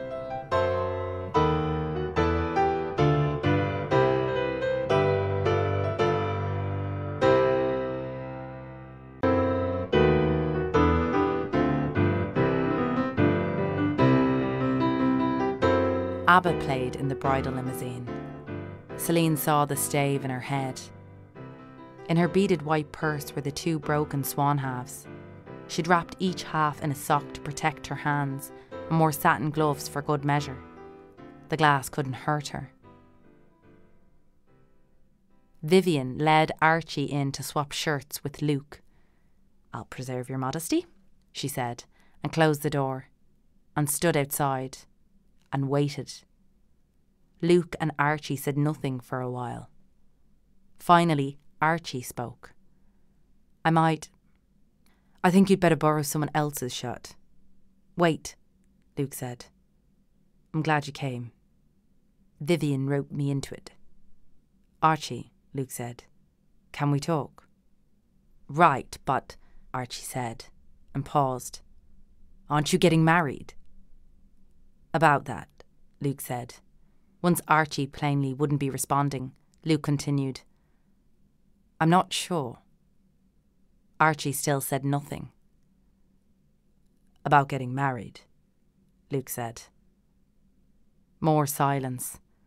And eventually Luke said, Honestly, I'm not great at knowing what I want.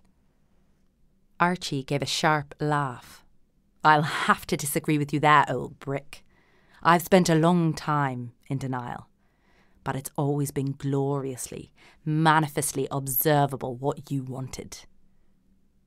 You want what we've been doing up until now. You told me as much ten years ago. I should have listened. I'm sorry. Only because you're finally having to decide. Now Luke could no longer contain his panic. But if we didn't have to choose, too late where I was a few months ago, or even a few weeks ago. You could have met me there. Even this morning, you could have had me. But nobody stands still forever. Archie, tell me and I'll. Don't! I'll not waste your time promising I'll change, Luke said. You can't believe me. I don't expect you to. But if you might change? Archie said. I wouldn't bet money on it, so I'm not going to bet my life. Luke said nothing at first. Then, I did tell you. What? Archie said. Nothing. Repeat to me what you said. It's. I did tell you I'm not good with relationships. See, Luke, Archie said. The idea of you I loved. He was an idiot, but he cared. You. You're nothing. You don't mind if I'm hurt. You just mind being blamed. Archie left through the interior door. It slammed, or it didn't. Luke and Archie said nothing for a while. Finally, Luke said, There's something Celine once told me about every relationship needing a harmony and a melody. And you can't just have a melody. He spoke as if recalling what he'd already explained to himself. And something else about. Honestly, I'm not sure she agrees with me on this. But commitment isn't something you can just will yourself into. Like piano. It takes hard work. And that bit you choose. But you also have to want it. And it's not your fault if you don't. Quite. Only I'm not sure why you're so keen to convince me. Archie said, not unkindly. I mean, fair. Luke said. It's something I've been. You know. Whether we've got. Celine hates this word, but the talent to make it work. Anyway, we'll find out. That's all anyone can expect from marriage. Finding out. She's nearly here, Archie said. Chop chop. A pause during which the men presumably changed shirts. Then Luke stepped out into the church. Or he didn't. The first outcome was possible. So was the second. But with her ear close to the door, not against, she did have standards. Vivian heard the following Luke and Archie said nothing for a while. Finally, Archie spoke. I might I think you'd better borrow someone else's shirt. Wait, Luke said. And his phone rang. Three rings. Then Luke told Archie, It's Lean. You might want. Roger. Archie left and closed the door behind him. When he saw Vivian, he raised his eyebrows. Vivian smiled back at him from one side of her mouth. They stayed there in silence outside the groom's room. Luke's phone was ringing through the wall. They heard a pause. Then, Celine? They'd reached the church, five minutes late. Etta James's At Last played as the limousine pulled in, but Celine still had ABBA in her head. Party horns, laugh, click, horn, laugh, click, and she wanted this. She did. But she was wretched from the lies. Luke was waiting in the church, and it was too late, and she had to marry him now. It would be the greatest lie she'd ever told, and to the largest audience, and the rest of her life would proceed from that lie. She clasped her fingers around her purse, around the broken swan. Would you hurry, Celine? Phoebe stuck her head back into the limo. Just a minute, Celine said, and beckoned her sister into the car. Celine, Phoebe said, What's the crack? Nothing, Celine said. Just when you asked me before, I've changed my mind. I want to know. So Phoebe told her. Chords sounded from the church, camera clicked, horns blared, confetti flew, and Phoebe held Celine's hand, and Celine held her purse, which in turn held shattered glass. You go out and explain, Celine told Phoebe. Then Celine picked up her phone. 8 pm, rooftop restaurant, 20 stories high. Grellan had seen his niece earlier at the reception. She still wore her dress and had headed straight for the bar. A true McGaw, alcohol the last stop on any flowchart. Possibly she was still drinking in the corner. A decent toolie considering. And mostly Maggie's doing. It's a blinder you're after pulling, Grellan yelled to Maggie from across the bench.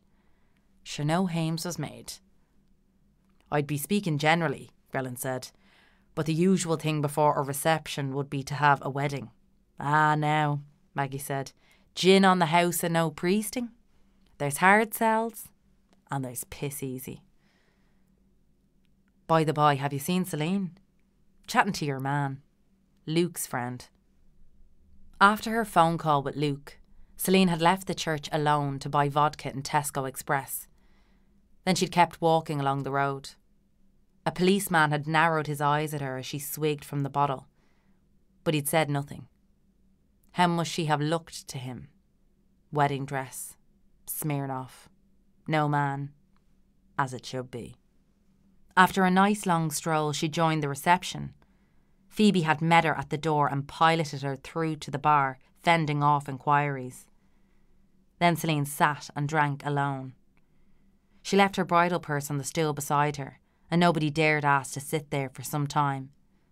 Finally, Archie did, but she hadn't objected.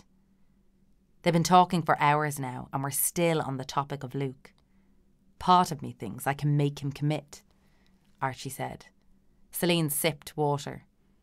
You can't, and if you could, then you wouldn't. Vivian said something. Let me remember. It was Luke's just some guy with a job. We're lab rats. You give us anxiety over something and we conclude it must be worth having. Their peanuts arrived. Luke had been right about one thing. Celine was warming to Archie after all. She didn't do enough of that, did she? Enjoy people. They'd met at the Hyde Park entrance off Upper Brook Street. Celine had arrived in her wedding dress.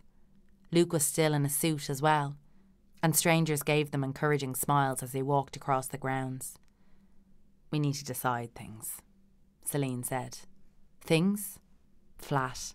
Cat. Okay, Luke said. So, since you're taking the honeymoon, I should probably go back to number 23 and move my things out. I'll take Madame Esmeralda with me. Thank God, Celine said. I love her. But she'd die. If she stayed with you? Yes. Honestly true. Shut up, she said. It was the most relaxed he'd felt around her in well over a year. Celine added, You keep the flat, though.